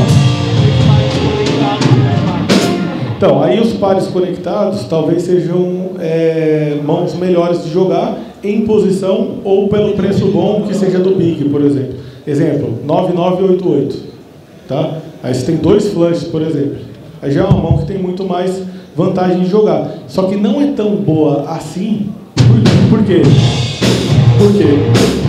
Porque quando você trinca, você perde a sequência. Entendeu? Trincou, perdeu a sequência. Aí você pode ter a trinca e o flush draw, ok? Por isso que é um pouco melhor. Mas o 10, 10, 2, 2 também pode ter 30 flush draw. Então é ruim. Pote múltiplo, cuidado. Pode jogar, pote múltiplo. Mas não é a mão que vai chegar para você e você vai dar pote ou dar rei. Tá bom? Inclusive, é uma mão categórica que eu vejo jogadores muito bons errarem. Porque até hoje eles têm essa questão errada com eles. Eles acreditam que a mão é boa. Então eles jogam. Então eu vi, eu não vou citar nomes, mas um dos melhores jogadores que nós temos hoje fora, já cometendo erros absurdos de jogar de jogar a win com mãos, com dois pares, em situações onde sabe que vai ser pago, e aí a equidade é menor ainda. É muito melhor você ter uma carta de cada do que você ter os pares. Tá? Porque uma carta de cada se você jogar na equidade de você achar um par de ais na sua frente, você tem muito mais chance de quebrar o asas fazendo dois pares do que brincar contra o asas. Ok? Exatamente. No caso você colocou um par, você já tem nove altos. Até onze na verdade.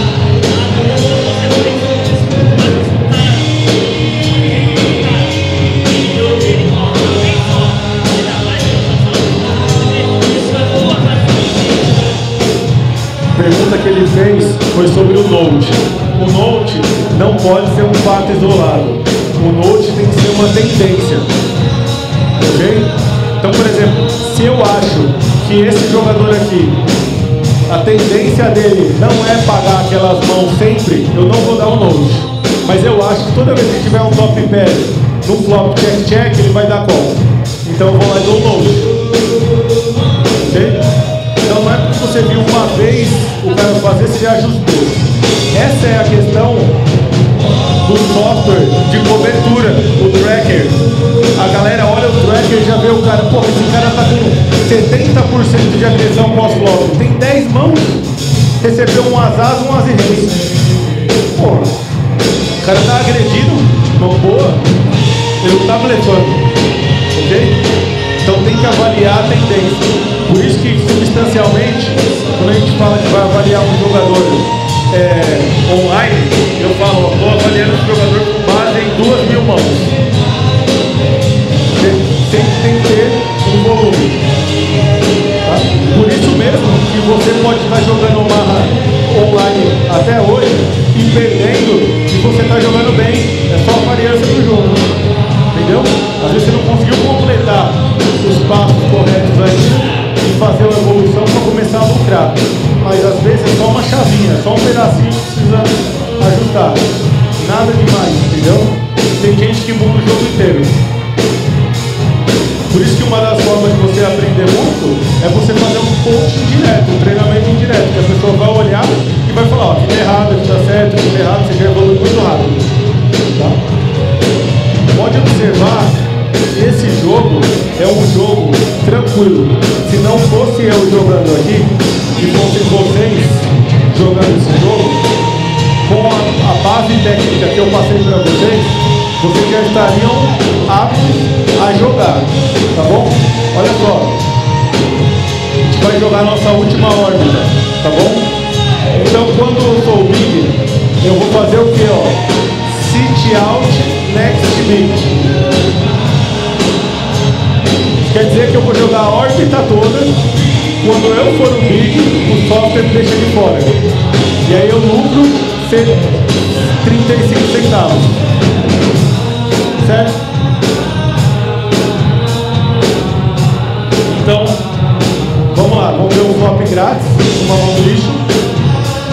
Olha, esse é o tipo de, de coisa que eu falo para vocês. Olha minha mão, que lixo que ela é. Mas não deixaram ver o flop de. E eu acabei conectando um full house no flop. Aí essa mão eu vou jogar muito agressivo, porque eu só melhoro ela com uma dama. Se bate um 6, um 7, um 8, qualquer carta que não seja uma dama, eu posso perder para um full maior. Tá? Então aqui eu volto ao win. Exatamente. Já é o win dele, capaz dele me dar a call com um par sem 9 e tá morto.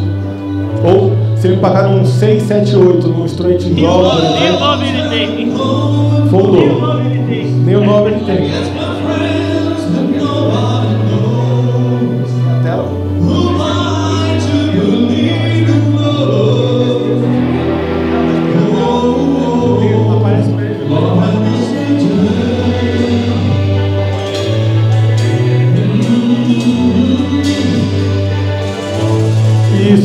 Ser que ele tivesse com straight draw e acabou dando fold. Tá? Eu não vejo muito é, vantagem da slow play nesse tipo de mão. Onde eu dou slow play? Eu tenho as as, rei e dama. Tá? Aí o flop é as, rei, rei. Ninguém tem nada. Porque além de eu ter o Dante full, eu estou bloqueando o outro full que eu tenho um rei na mão. Aí essa mão slow play, porque senão você não vai ganhar nada. Nada. Mãos com pares e ases naivados já são mãos mais apreciadas em posição. Se vem reis e reis, eu nem jogo essa mão. Agora, se vem limp, se vem um range simples, eu vou jogar essa mão. Ok? Agora, é bom observar que o 2 e o 8 são cartas que trabalham totalmente fora. Tá? Então, vou entrar de limp também. Coloco que não me ajudou. A minha, minha broca, que é o meu cut do 3, é sequência do meio de cima, então não me serve. Mas eu tenho dois backdoors, paus e ouros. Então se a ação vier de mim, ok? Muitas vezes eu posso tentar blefar isso daí, tá? Mas como eu tenho muitos oponentes, eu não vou blefar. Se eu tenho um ou dois, eu posso blefar. Então vou dar check, não virou no backdoor. Já desliguei.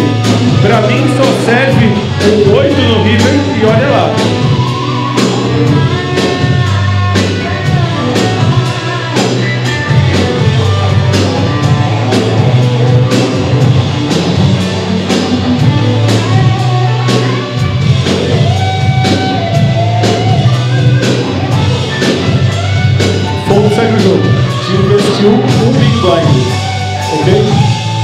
Agora, o que a gente chama de rundown é uma sequência. 3, 4, 5 e 6. Não é 3, 4, 5 e 8. 3, 4, 5 e 8 é um lixo. Porque eu tenho dois buracos. Como é que eu faço sequência nesse bordo aí? Se eu acertar um 6 e um 7 no bordo. É muito combinado. Okay? Mas como a mesa está passiva, eu vou entrar de também. Eu vou no hijack, no, no cutoff. Então é capaz de eu ver um flop de graça, botão fundou, tenho posição, ok? E construir um mod com um bitcoin. Estou adaptando a mesa, ok? A mesa. Agora, eu sei que eu não posso correr atrás de draw ruins, tá? Conectei um fire e eu tenho duas pontas para baixo, ok? E tem flush draw no bordo, eu não posso continuar nessa mão, tá? Eu tenho que voltar, porque às vezes que eu conectar, eu perco e ainda tem a chance de eu conectar com pause.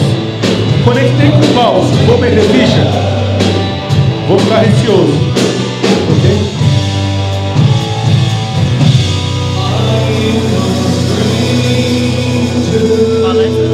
Três cartas para sequência, bom, mas o 2 é o Dangler e ainda mais gera três cartas de pau. Ok? Então não tem por que eu jogar essa mão. Muito importante observar que a gente está ganhando aqui agora porque nossa hand selection. Só isso. Não precisa nada demais selecionamos uma mão melhor que a do nosso oponente, onde o nosso flush, quando conectou, era melhor do que o dele. Olha só, tão simples quanto. Agora, nós somos os, os mestres de fazer esse discernimento. Ok? Eu só ganho mais do que você porque eu faço esse exercício melhor que vocês. Não quer dizer que eu sou mais inteligente que você. Sacou? Então, se você está aqui e está entendendo isso, está aprendendo, o que eu falei para você fez sentido, captou, Ponto. Está no caminho certo, ok? Porque eu estou cansado e a verdade, adoro falar isso no meu treinamento, sem papo na língua. Tá cheio de nego começou a jogar comigo 10 anos atrás, estão lá no mesmo lugar e eu, e eu fui para frente. Amanhã é você falando e eu aqui sentado te observando, te ouvindo e, e aprendendo com você. Certo? Ok. Nesse caso, eu tenho um Dengler que narrou meu Ice.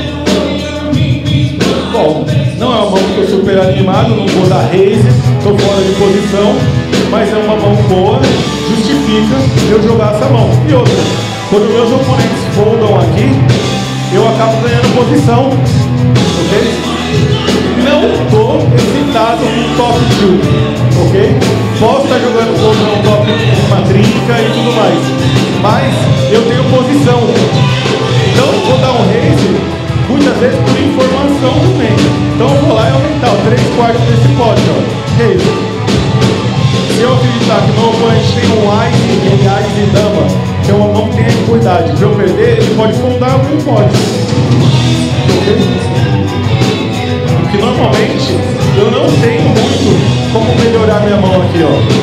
Não tem eu talvez jogasse essa mão de forma diferente se o 4 fosse de copas. Porque eu posso dar o ball e o turn, se for ruim, ainda pode ser de copas. Aí eu tenho mais probabilidade de conectar a mão. E em geral, quando eu conecto com um runner runner, eu sempre traio valor. Porque o cara fala, não é possível que ele fez esse flush runner Aí você ganha um caminhão fichas. Então é importante você pensar na equidade do backdoor para fazer a jogada no amarra. No Texas Hold'em você nem pensa nisso. Porque sua equidade aumenta em 2, 3%. Aqui é um absurdo. Pode ser uma broca na empada que me dá sequência para baixo, broca na empada que aumenta minha chance para cima. Tá? E aqui agora eu ia ser o Big Blind e eu encerrei minha sessão. Tá?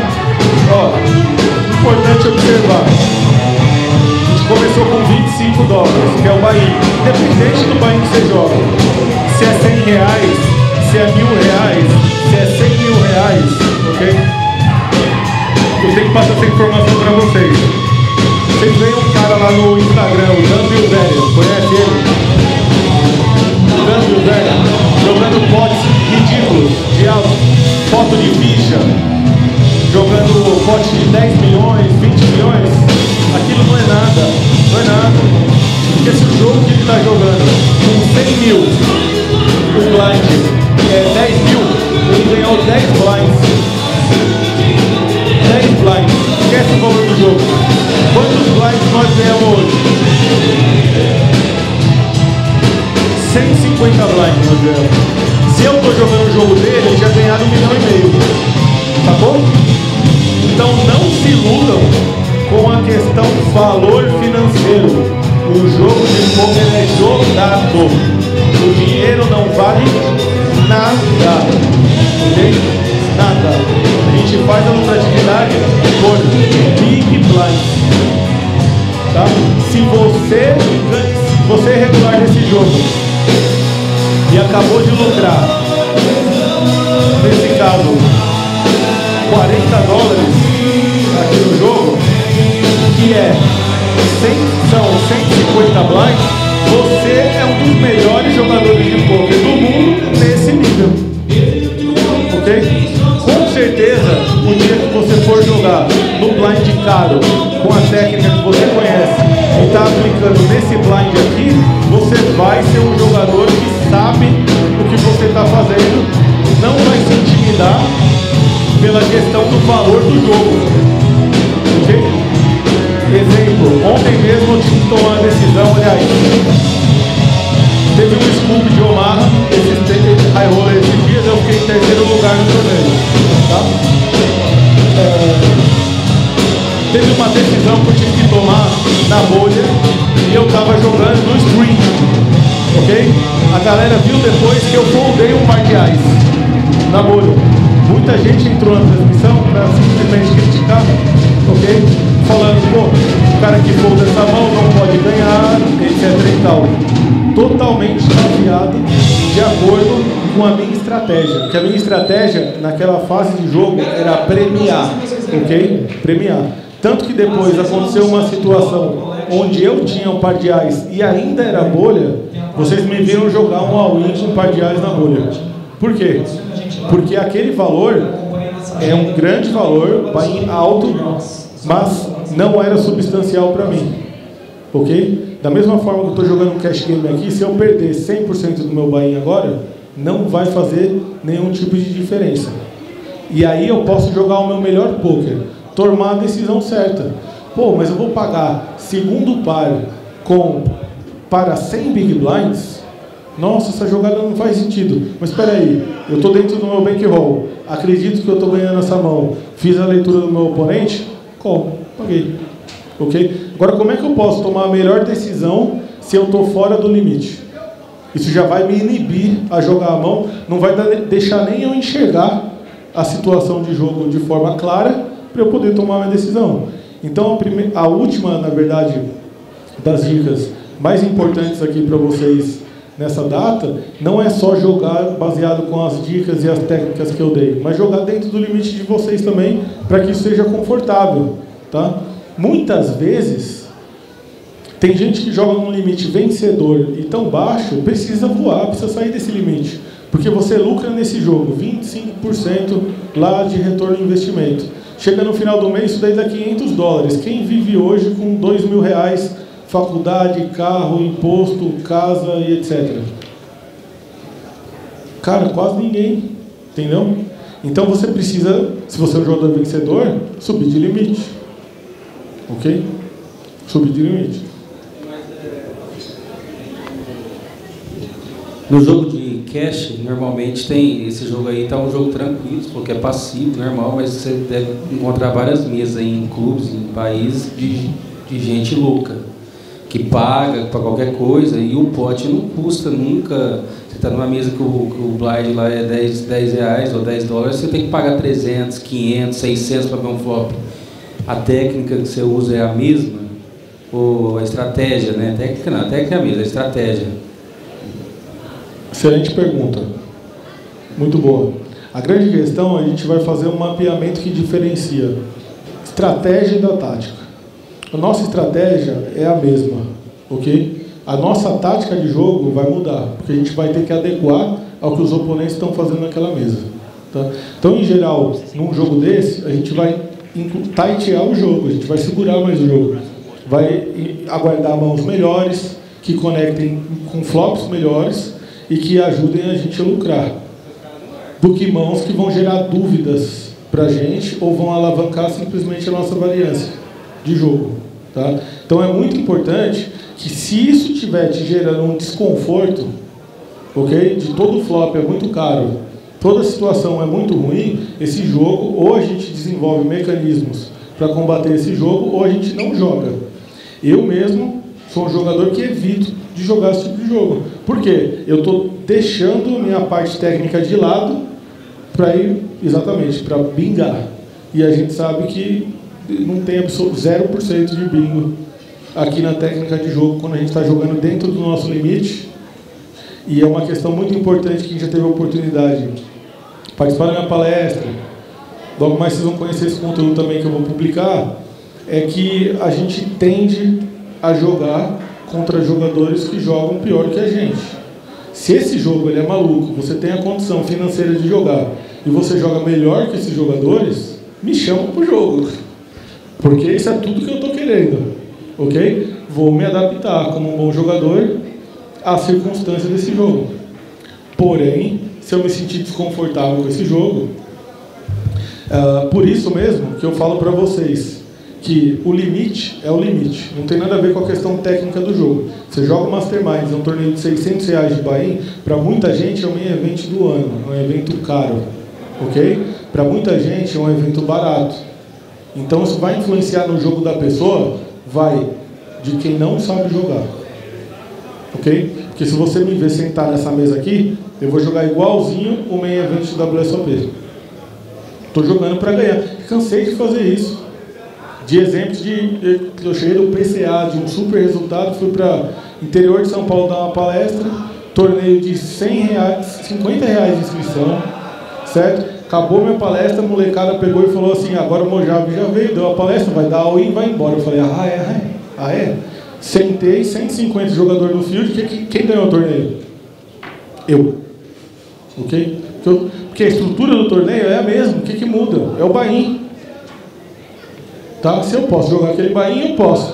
Se eu não posso, eu não jogo. A parte técnica do jogo é a mesma. Agora, que a gente está falando é, de forma diferente, é que naturalmente algumas situações, que é a tendência, onde o Bahia é mais caro, o nível técnico é maior. Ok? Mas isso não é uma verdade absoluta. Tá? Isso. Então aí eu recomendo você tentar alguns jogos é, de, de cash, nesse caso, fora do Brasil. Tenta jogar em Vegas, por exemplo, o jogo mais respeitado, mais estudado. E, e é difícil. Sim. Mas é, ó, o pessoal está pedindo para voltar para a mesa, hein? e, e, é, é, então, é, eu acredito que a gente, a gente falou bastante aqui, deu. É, acredito que vocês, a gente conseguiu passar bastante informações sobre o jogo. Obviamente, a gente tem muita coisa o que falar, mas talvez esclarecer algumas das dúvidas de vocês. E se eu conseguir fazer isso, eu fico contente. Tá bom? Uh, mais uma vez, eu queria agradecer a presença de vocês aqui no Masterminds, porque na verdade é o jogador de poker que faz o evento de poker.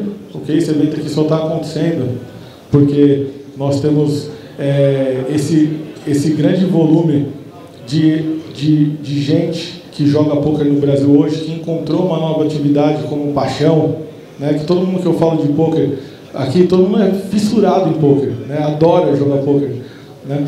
Então é, a gente é, dá os parabéns para o pessoal do evento que está organizando esse evento espetacular e a gente espera que aconteça mais um logo mais, né? Que tenham mais de, de um evento tão bem organizado assim uh, por ano aqui, principalmente em São Paulo, que no quintal de casa é mais gostoso. Uh, vou abrir para uma ou duas perguntas aqui de vocês, para se vocês quiserem fazer. E agradeço a presença de todo mundo, beleza? Obrigadão.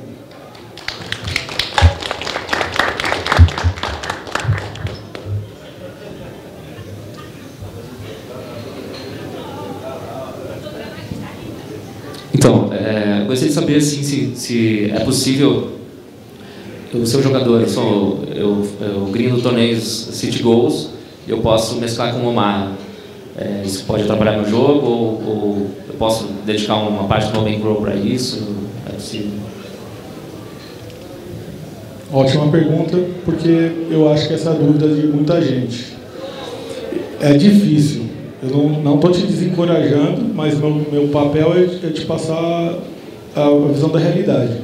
Eu, principalmente, quando eu estou jogando Mixer Games, ok? Muito difícil conseguir ficar mesclando com outros jogos. Tá? A maioria das pessoas jogam, e perdão da palavra, obviamente fazendo uma crítica, mas com a verdade para você que está dentro do meu treinamento, é que está errado. Porque, por exemplo, se eu estou jogando é, um jogo, por exemplo, de. Um Mixer Games, por exemplo, estou jogando um jogo distante. Okay? Eu preciso ter uma noção muito grande de quais cartas foram descartadas, se eu posso correr atrás do meu draw, se é lucrativo ou se não é. Se eu estou multitable, jogando vários sit goals, acredito que quando você joga sit goal, você joga muitas vezes, certo? Você não tem condição nenhuma de prestar atenção nisso.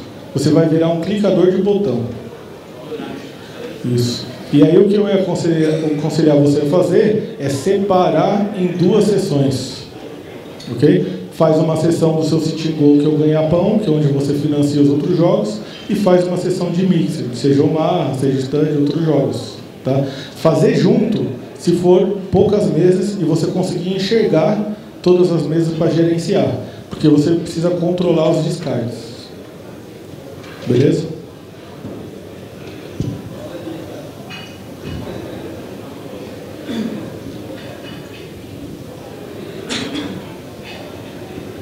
Boa noite, Mojave. É, meu nome é Márcio. Eu não jogo pot limit Omaha.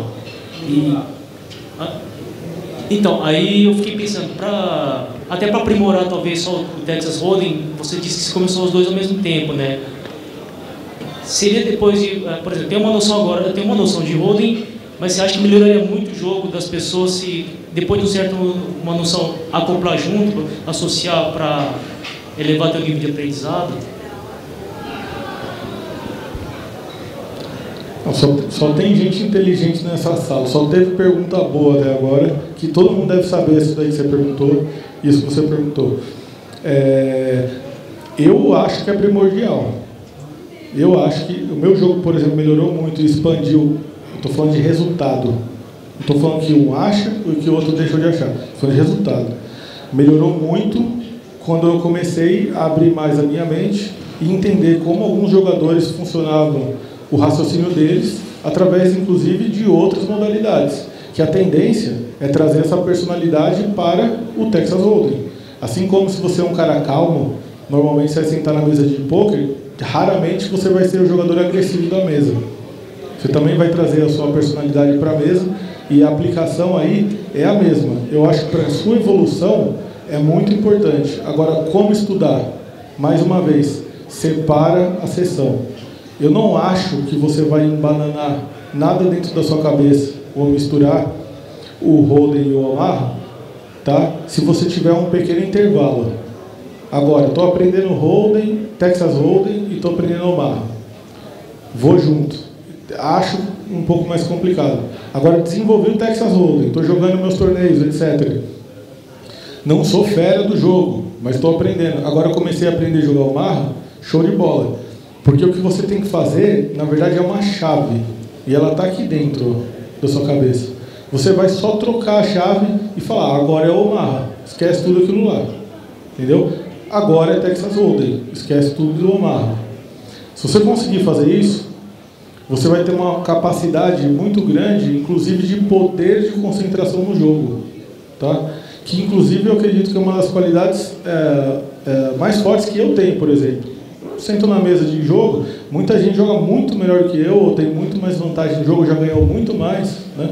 Agora, difícil ter o mesmo comprometimento que eu tenho na mesa, ou o mesmo tempo de estudo, ok? Ou de preparação para o jogo. É aí onde a gente consegue fazer uma boa diferença também. Então, se eu faço isso e dá certo para mim, essa é a base do meu treinamento. É o que eu faço, que eu tenho experiência, que eu coloco, vejo dar certo e passo para você não é a base do que eu estou achando, é a base do que eu estou fazendo. Tá bom? Então é isso aí. Com essa pergunta encerramos. Espero que vocês, se tiverem afim de jogar algum side event que estiver rolando, uh, assim como eu, ou se tiverem interessado em jogar as cashzinho molezinha de Omar no PokerStars, olha que, mole, que moleza. Tá aí para todo mundo. Quem é o próximo curso de Omar para gente começar a estudar? Ok. Uh, próximo curso de Omar em, em agosto, tá? Começo de agosto. Então, quem tiver interesse, só acessar felipemojago.com e mandar uma mensagem para a gente, tá? É, vale lembrar que o curso de Omaha, ele, ele, ele aborda do zero, beleza? Então, vocês não vão ter nenhum gap de conhecimento, é do, do zero, tá? E se você já sabe jogar, aparece lá que, eu vou provar para você que, que não era tanto assim. Porque o volume de informação é muito grande, então muita gente pergunta assim, pô, no, no curso de Texas Hold'em, sim, né? Tem 15 cursos, né? E tem vários níveis técnicos, show. Agora no Omar a gente tem um curso só, e aí depois tem o, o, o, o, o Pro, que é o cara que já vive do jogo, né? Que quer desenvolver ou ter um acompanhamento. Então, vocês, vai ser um prazer receber vocês uh, lá também. E é isso aí. Espero que vocês tenham curtido. Um abraço para todo mundo. É, e, e é, não, vou falar isso porque você falou, tá bom? O troféu de Omar aqui é do nosso aluno, Guilherme Barbosa, que ganhou o Omar aqui no, no, no Masterminds. Uh, que inclusive. Inclusive foi o nosso único jogador que esteve participando desse evento por questões de qualidade técnica. Isso, né? Então a gente tem outro jogador bom de Omar aqui, que é o, que é o Ligeiro, que está aqui dentro também. Uh, e a gente normalmente tende a, a, fazer um investimento nos jogadores, onde a gente acredita que o jogador tem mais chance de potencializar, né? de transformar aquele, aquele resultado em, em, em realidade. Então, até uma pergunta que vem para mim: é, o nosso bate-papo é muito bom, parece que não vai acabar, show de bola isso. É, se eu prefiro jogar o Marra, né? Óbvio que não eu, eu tive o prazer de virar um jogador generalista hoje, de ter sido especialista nisso, especialista naquilo. Né? Tanto os resultados estão aí, né? Tem, é, a maioria desse ano, inclusive, vieram em, em, em Texas Hold'em. Mas é, os, os, os são mais evidentes, vamos dizer assim, porque tem menos concorrentes, menos pessoas disputando e jogando, etc. Por isso que eu acho que vocês devem aprender. Ok? porque tem maior chance de dar certo e de vocês faturarem, tá bom? Show de bola.